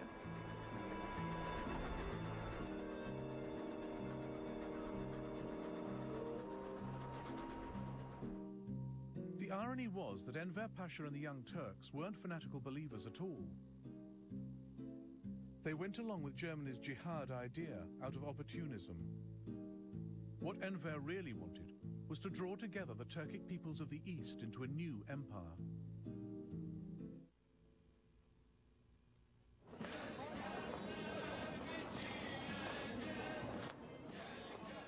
Enver had an army of 800,000, mainly from Anatolia, but also Arabs, Macedonians, Kurds. It was thought to be a spent force, but Enver had reformed it. Germany trained it.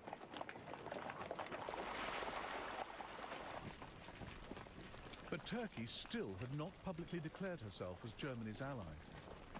And her cabinet was split over whether to fight. But Turkey was desperate for money. So the Germans decided to sweeten the deal and force the Turks' hand. Two of Germany's cruisers, the Goeben and the Breslau, were being chased across the Mediterranean by the Royal Navy. Rather conveniently, they took refuge in Constantinople on the 11th of August 1914. The presence of two German cruisers riding proudly at anchor by the Golden Horn undermined the Turks' pretense at neutrality. So they shrugged and told the world they'd bought the ships. Their German crews were given fezzes to wear. Their fancy dress antics were the talk of Constantinople. The Turkish fleet, led by the Goeben and the Breslau, steamed out of the Bosphorus. On the 29th of October 1914, they attacked several Russian ports. Enver Pasha had the gateway to the Black Sea mined. The Germans paid over five million pounds in gold, securing Turkey as their ally.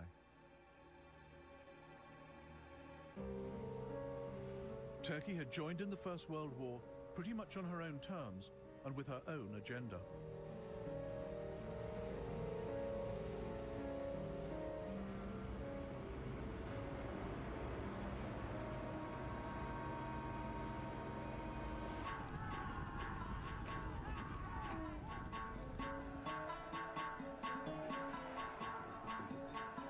Persian Muslims are threatening trouble. There is a dry wind blowing through the east, and the parched grasses wait the spark. And the wind is blowing towards the Indian border. Fiction by novelist John Buchan, but based on real fears of an Islamic holy war. By late 1914, Enver was looking east. He had big ideas both for jihad and for uniting the Turkic peoples. Nearly 40 years before, Russia had stolen a chunk of eastern Turkey along its Caucasian border. Enver was desperate to kick the Russians off Turkish soil. But it was an area riven with ethnic friction. Russians, Turks, Georgians, Kurds, and on both sides of the frontier, Armenian Christians. Loyalties in the Caucasus were hard to read, hard to be sure of.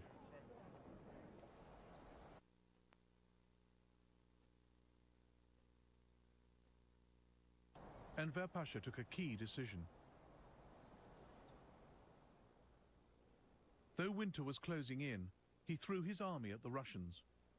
In December 1914, the Turkish Ninth Corps marched through the high passes of the Allah Ekber Mountains. The aim was to sweep down on the town of Sarikamish and encircle the Russians.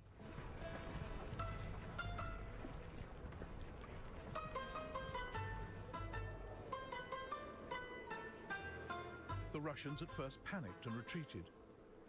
Enver's bold gamble nearly paid off.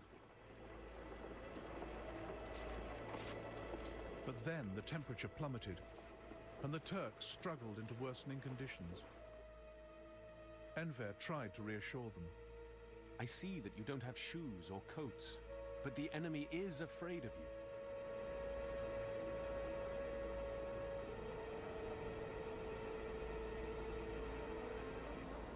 Weather and terrain killed 25,000 Turks before they even made contact with the Russians. The soldiers were terrified of seeing the frozen corpses, and they began deserting their posts.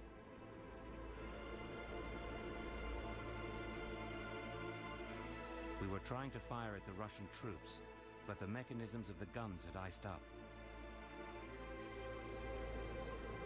We trembled to think what we lived through during those long and deadly days. Engines are tuned. On the Allah Akbar Mountains, local men still say prayers for the dead of Sarikamish.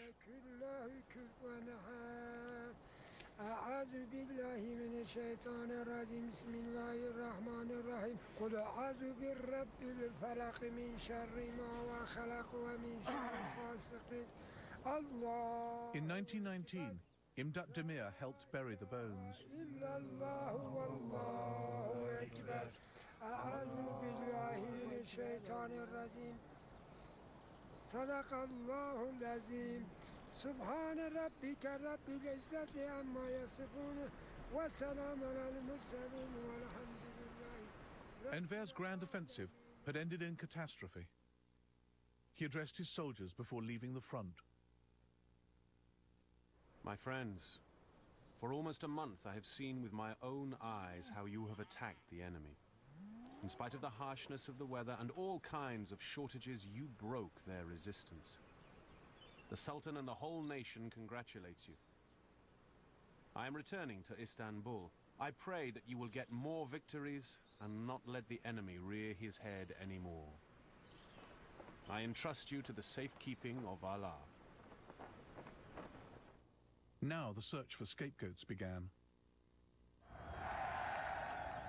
Enver blamed the defeat not on himself, but on Turkish Armenians serving with the Russians in the Caucasus. Tension between the Turks and their Armenian population was nothing new. But now Turkey had serious fears that the Armenians were bidding for independence. From all countries, Armenians are hurrying to enter the ranks of the glorious Russian army. Let peoples remaining under the Turkish yoke receive freedom.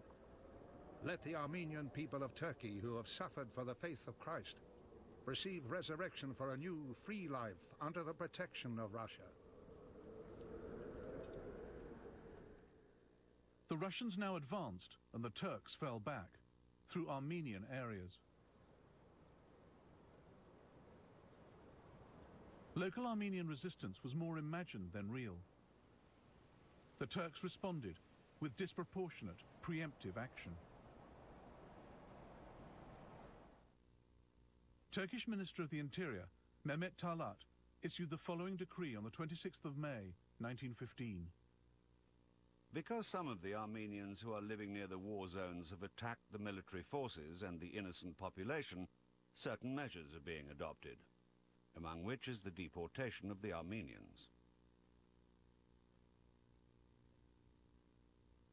The German ambassador in Turkey, Baron von Wangenheim, warned Berlin of the imminent disaster. Such a mass deportation to a destination many hundreds of kilometers away, without sufficient means of transport, via areas that offer neither accommodation nor food, and are plagued with epidemic illness such as typhus, will cost many lives, especially amongst women and children. The town of Harput, key transit point of the forced Armenian exodus. Thousands passed through here to exile in Syria, then part of the Ottoman Empire. American missionary Tacy Atkinson saw terrible sights in Harput. Thousands herded together, mostly women and children, sick, lying everywhere. These people have been on the road six weeks. They don't know where they are to go. They have been attacked, robbed, and killed. Armin T. Wegner, a German medical officer stationed in Turkey, photographed the plight of the Armenians. And the American consul on the spot reported to his ambassador. Sir, I have to report one of the greatest tragedies in all history. A revolutionary movement on the part of some of the Armenians was discovered, and severe measures taken to check it. Little distinction being made between people who were entirely innocent and those suspected of being participants in the movement.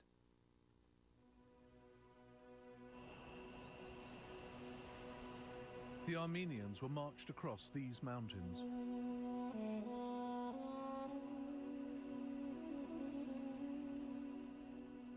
Even those who survived the journey were not safe when they reached Syria.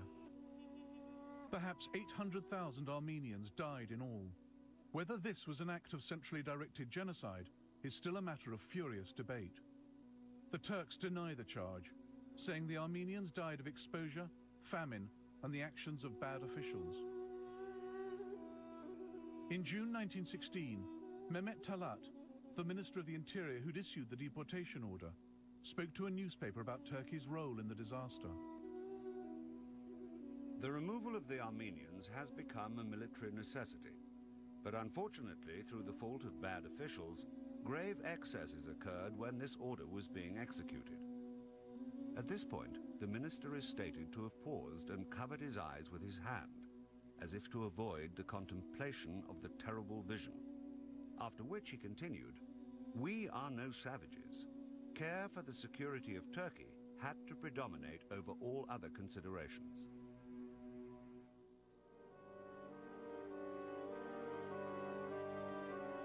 On the 3rd of January 1915, the Russian Tsar, panicking at the Turkish advance on Sarikamish, urged the Allies to attack Turkey. The British agreed. This is one of the greatest campaigns in history. Think what Constantinople is to the east. It is more than London, Paris, and Berlin, all rolled into one, are to the west. Think what its fall will mean. This was the battle which might turn the war. It could cut Germany's route to the east, unlock the Balkans, and open up Russia via the Black Sea. But first, the Navy would have to force its way through the Dardanelles Straits.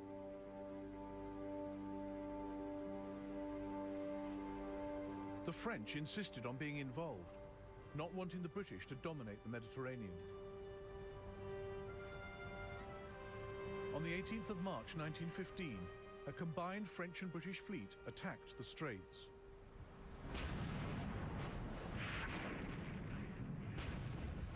The Turkish guns survived the naval bombardment. The Allied ships were sitting ducks. The French battleship Bouvet hit a mine. Three battleships were sunk that day, three crippled, four damaged. The Allies lost over 700 men. It was a remarkable victory for the Ottoman Empire. The Allies tried again. This time, the Navy would support an amphibious landing of troops. The Australian and New Zealand Army Corps, known as ANZACs, joined French and British soldiers. Contrary to later myth, the Anzacs weren't rough, tough diggers from the outback. They were mostly city dwellers, many first-generation British immigrants, fighting for the mother country. Turks like Behzadi Kerim knew this would be a fight for their country's survival. I will sacrifice myself for my faith, my country, my dear Istanbul. I will crush the dirty, loathsome hands reaching out to threaten my old father's happiness, my innocent baby's life, my beloved wife's honor. I shall be as hard-hearted as an Englishman. I salute you, O apple of my eye, Istanbul. Those who are about to die bid you farewell.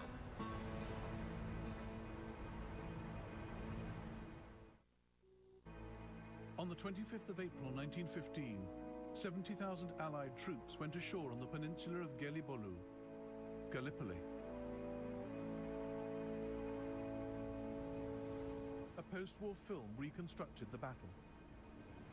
Private Robert Atkinson witnessed what was then the greatest seaborne invasion ever. Troops in small boats being towed ashore effect a landing. Terrific bombardment, awful noise rolling around the cliffs. Surprise the Turks. Splendid gunnery by the Navy.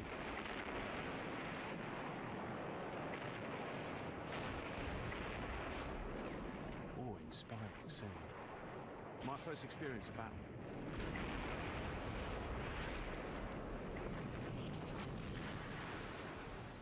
The Anzacs were landed in the wrong place. 8,000 men struggled ashore on a narrow strip of sand hemmed in by steep hills.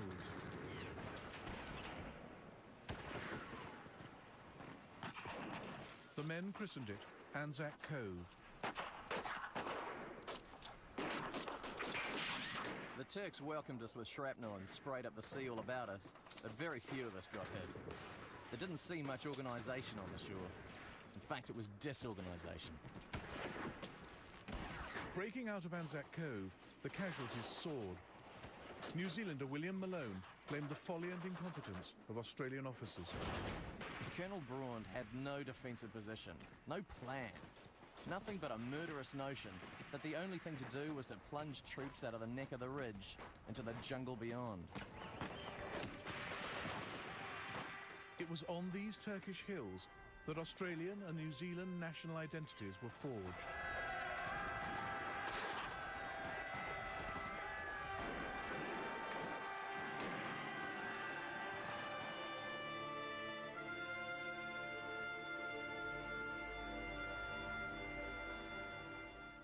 Anzacs would have had an easier time if it had been left to the German general Liman von Sanders. He was holding troops back for an attack nine miles away that never came. But a 34-year-old Turkish officer, Mustafa Kemal, climbed the peak of Chanak Bayir and saw the Anzac troops approaching and his own men fleeing. Why are you running away, I asked. The enemy, sir, they said. You mustn't run away from the enemy. We've no more ammunition, they replied. I ordered them to fix their bayonets and lie down.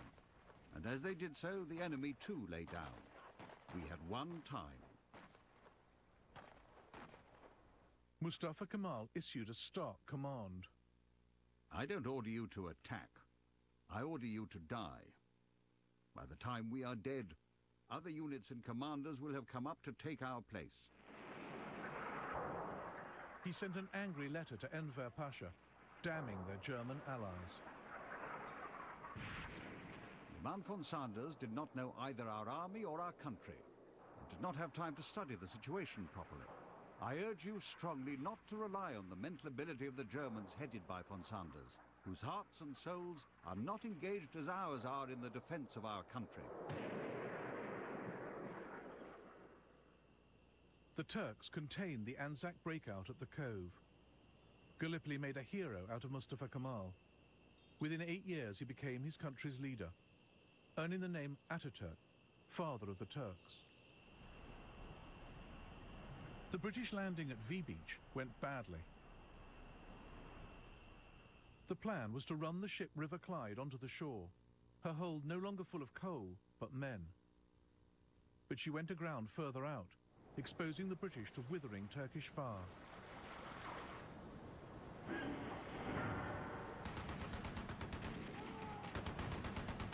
The enemy commanders were sending the men down the ramps.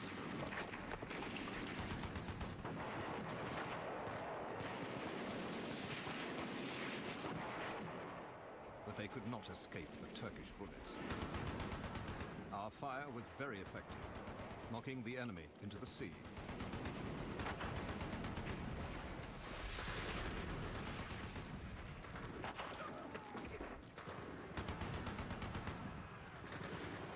The shore at V Beach was full of enemy corpses, like shoals of fish. The color of the sea changed with the blood from their bodies.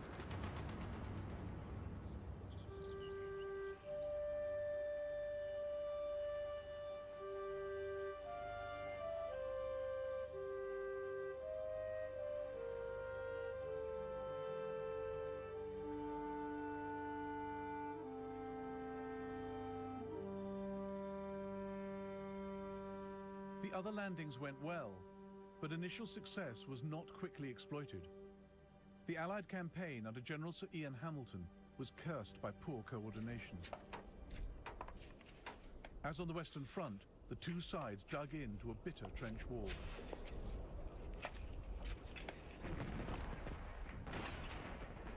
Here, an Australian cameraman scrambles back to help his assistant under fire.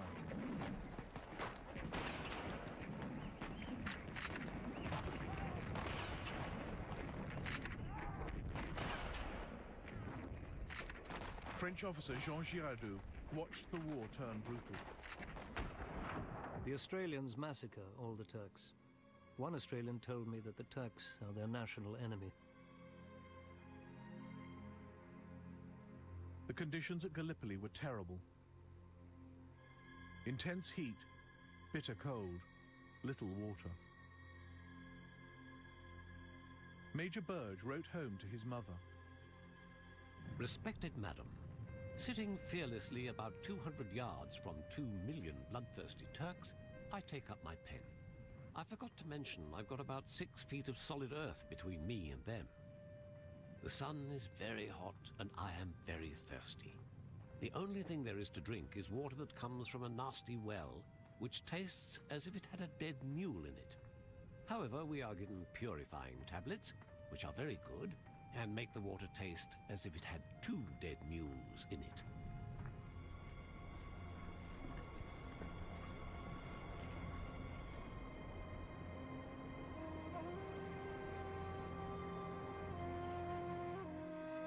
To my highborn royal wife, Ayşe, from your husband, Mustafa Mehmet, Captain, 13th Turkish Infantry. Oh, Ayşe, my morning star. I pray God to bring this all to an end. I can see our lovely Constantinople in ruins and our houses burnt to the ground. These English are very persistent. There is no fear of death for them. They're very cruel. They watch us like wolves in the night and are upon us like the devil in the day. And why did we join in this wicked war? Aisha, I must now take my leave of you as the sun is sinking and I must away to my devotion. God bless you, Aisha. I wish I were at home to give you my adorations. But Aisha never received Mustafa's letter. It was found on his dead body by a British soldier.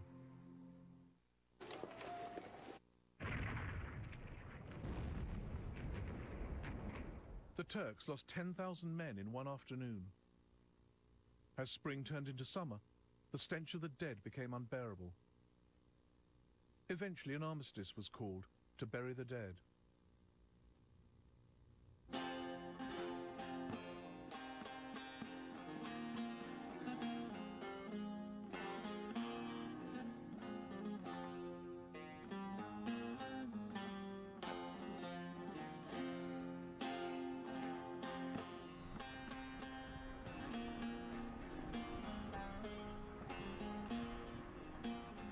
Turkish soldiers were illiterate.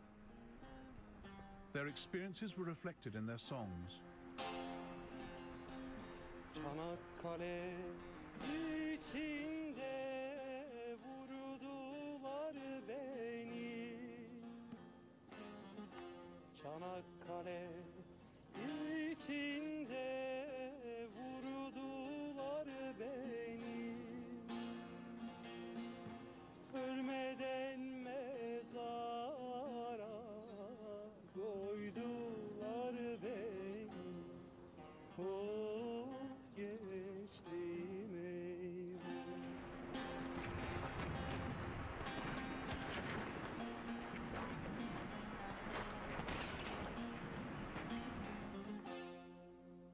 Disease became a major killer, particularly typhus and dysentery. My old pal. He was smart and upright as a guardsman. After about ten days, to see him crawling about, his backside hanging out. We were trying to lower him down into the latrine. I don't know what happened, but he simply rolled into this foot-wide trench. We couldn't pull him out. We didn't have any strength. He drowned in his own excrement. Allied resolve was weakening, as Lieutenant Colonel Fakhrettin realized, writing to his father. The morale of his troops has sunk so low as to be beyond description. These fellows will eventually have to embark their troops and remove them one of these nights.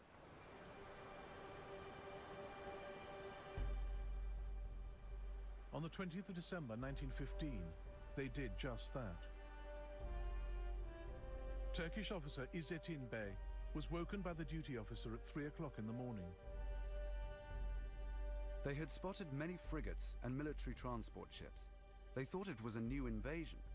But on the contrary, the British were running away. Their situation had become hopeless. What had happened was victory and the will of Allah. Turkish troops enter abandoned Allied trenches. They did not fire on the retreating Allies, happy just to see them go. After nine terrible months, the hills of Gallipoli fell silent. Both sides had suffered around a quarter of a million casualties. But for the Turks, it was a triumph.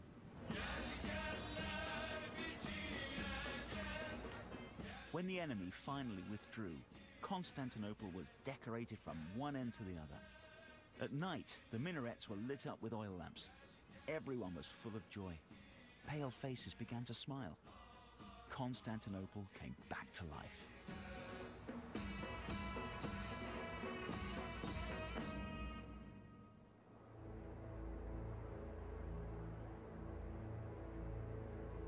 The Germans were still trying to ignite a holy war, jihad, in the Middle East. The German agents who'd slipped into the Ottoman Empire as a traveling circus were now crossing Persia, disguised as tribesmen. On the 19th of August 1915, they evaded Russian patrols and entered Afghanistan. Their mission, to raise a Muslim army against the British and invade India.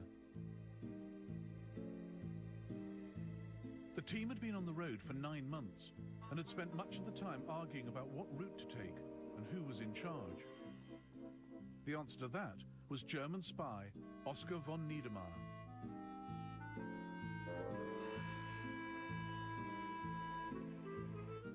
Then Enver Pasha had second thoughts. The Germans, in stirring up countries to revolt against their Russian and British masters, encouraged ideas of independence. This clashed with Enver's vision of uniting all Muslims in an expanded all-Turkic empire. Enver pulled the Turks out of Niedermayer's mission, leaving the Germans to go it alone.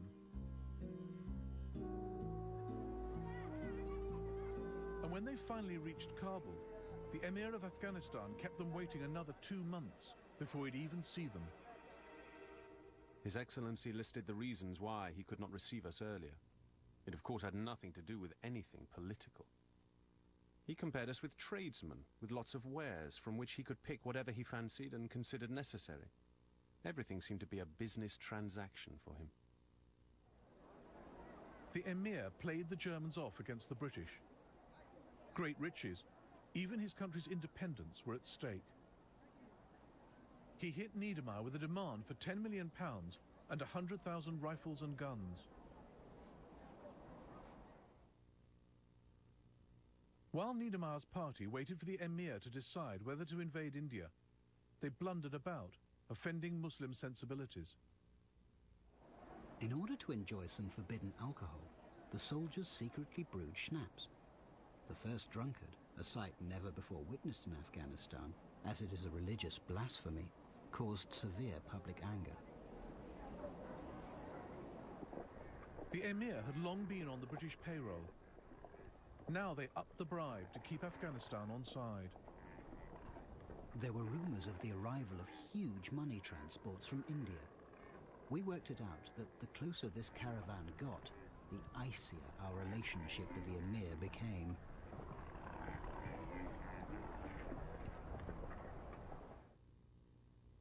Niedermayer and the Germans finally realized they were pawns in the Emir's game and abandoned the operation.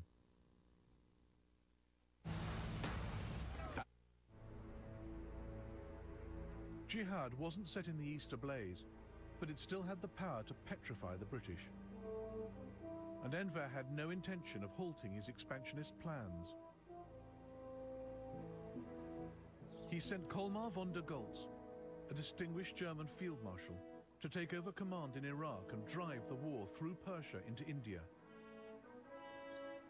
Then 72 years old, von der Goltz kept in touch with his family. I could never have imagined that in my old age fate would take me so far out into the world, and that I would travel in the steps of Alexander the Great through countries that filled our imaginations when we were young. Britain decided a show of strength was needed in the Middle East to persuade the Arabs that the British were the masters there, not the Germans or Turks. Capture of Baghdad would create an immense impression in the Middle East, especially in Persia, Afghanistan, and on our own frontier, and would counteract the unfortunate impression created by want of success on the Dardanelles.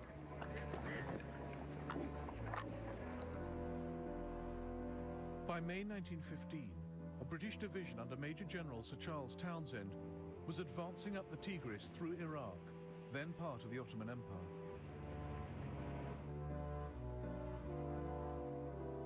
Just 25 miles short of Baghdad, they were halted by the Turkish Sixth Army.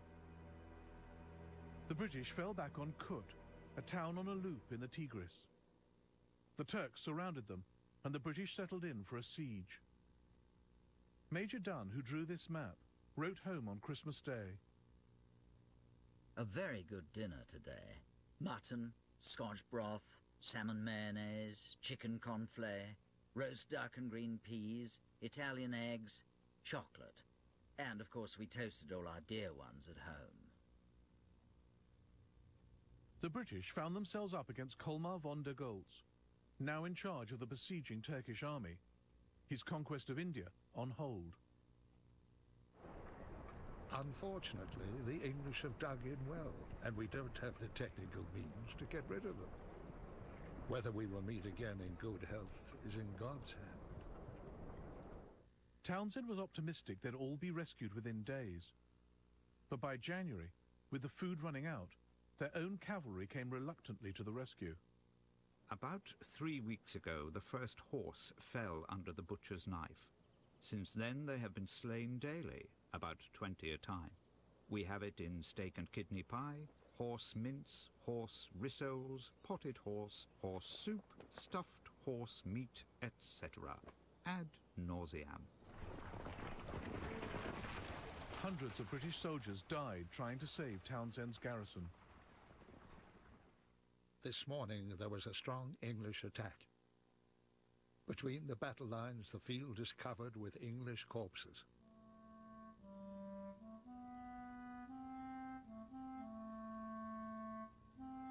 The relieving force downstream has again failed to get through. General Townshend has issued a communique to us. The eyes of India and England are on us, and we shall go down as heroes, which doesn't do us much good. I'd sooner not be a hero in Kut and have plenty to eat.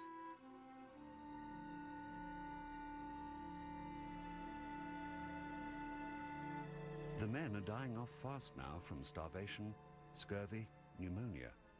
The Tommies are sticking it out better than the Indian troops who refuse to eat mule or horse.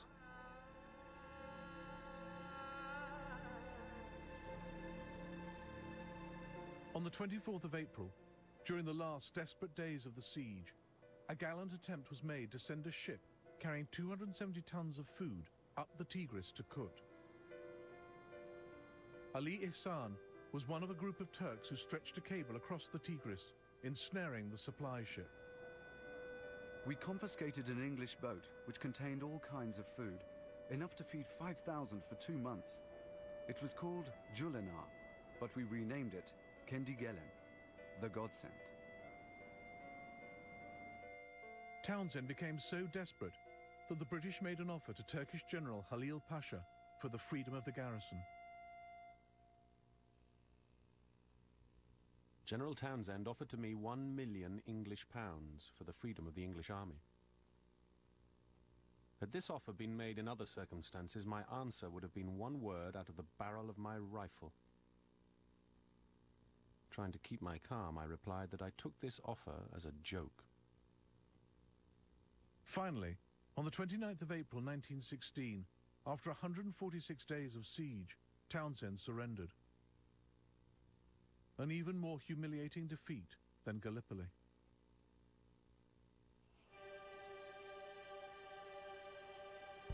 All up now. A terrible pity. Never shall I forget that morning of surrender. We settled down to the melancholy task of destruction. Poor gunners. Some were in tears as the guns they were so proud to have tended were blown to pieces. The Turks marched in at noon and took over the place. By the waters of Babylon, we sat down and wept.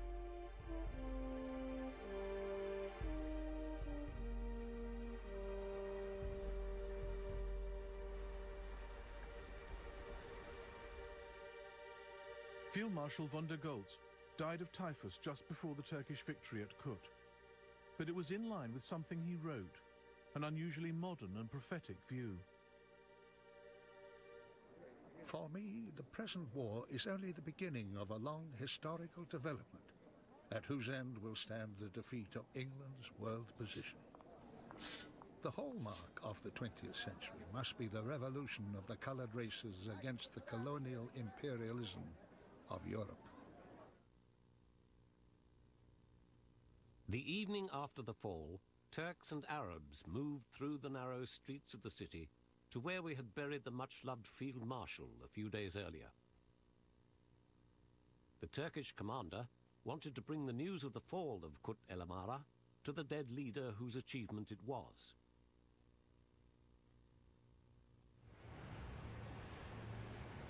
Townshend sailed off to a comfortable captivity in Constantinople. During the siege, 1,750 of his British and Indian soldiers had died, but the worst lay ahead. 12,000 men were marched through the desert to Baghdad. A large percentage of the men were quite done for and couldn't possibly march another inch. They were lying on the ground, suffering from high fever and dysentery, and were smothered from head to foot in filth and covered with flies. By the war's close, over 4,000 veterans of Kut had died in prison camp, victims of willful neglect by both Turkey and Britain. Never come back no more, boys. Never come back no more. The camp is becoming a bore, boys. It's becoming a terrible bore. Shut up the old shop window. Put a notice over the door. We're packing our kits for the jolly old Ritz. And we'll never come back no more. The Allies had written off the Ottoman Empire from the start, but then suffered major defeats at its hands.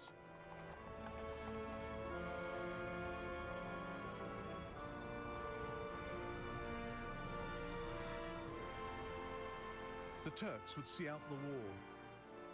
It wasn't Allah or the Germans that kept them fighting to the end, but self-defense and political ambition.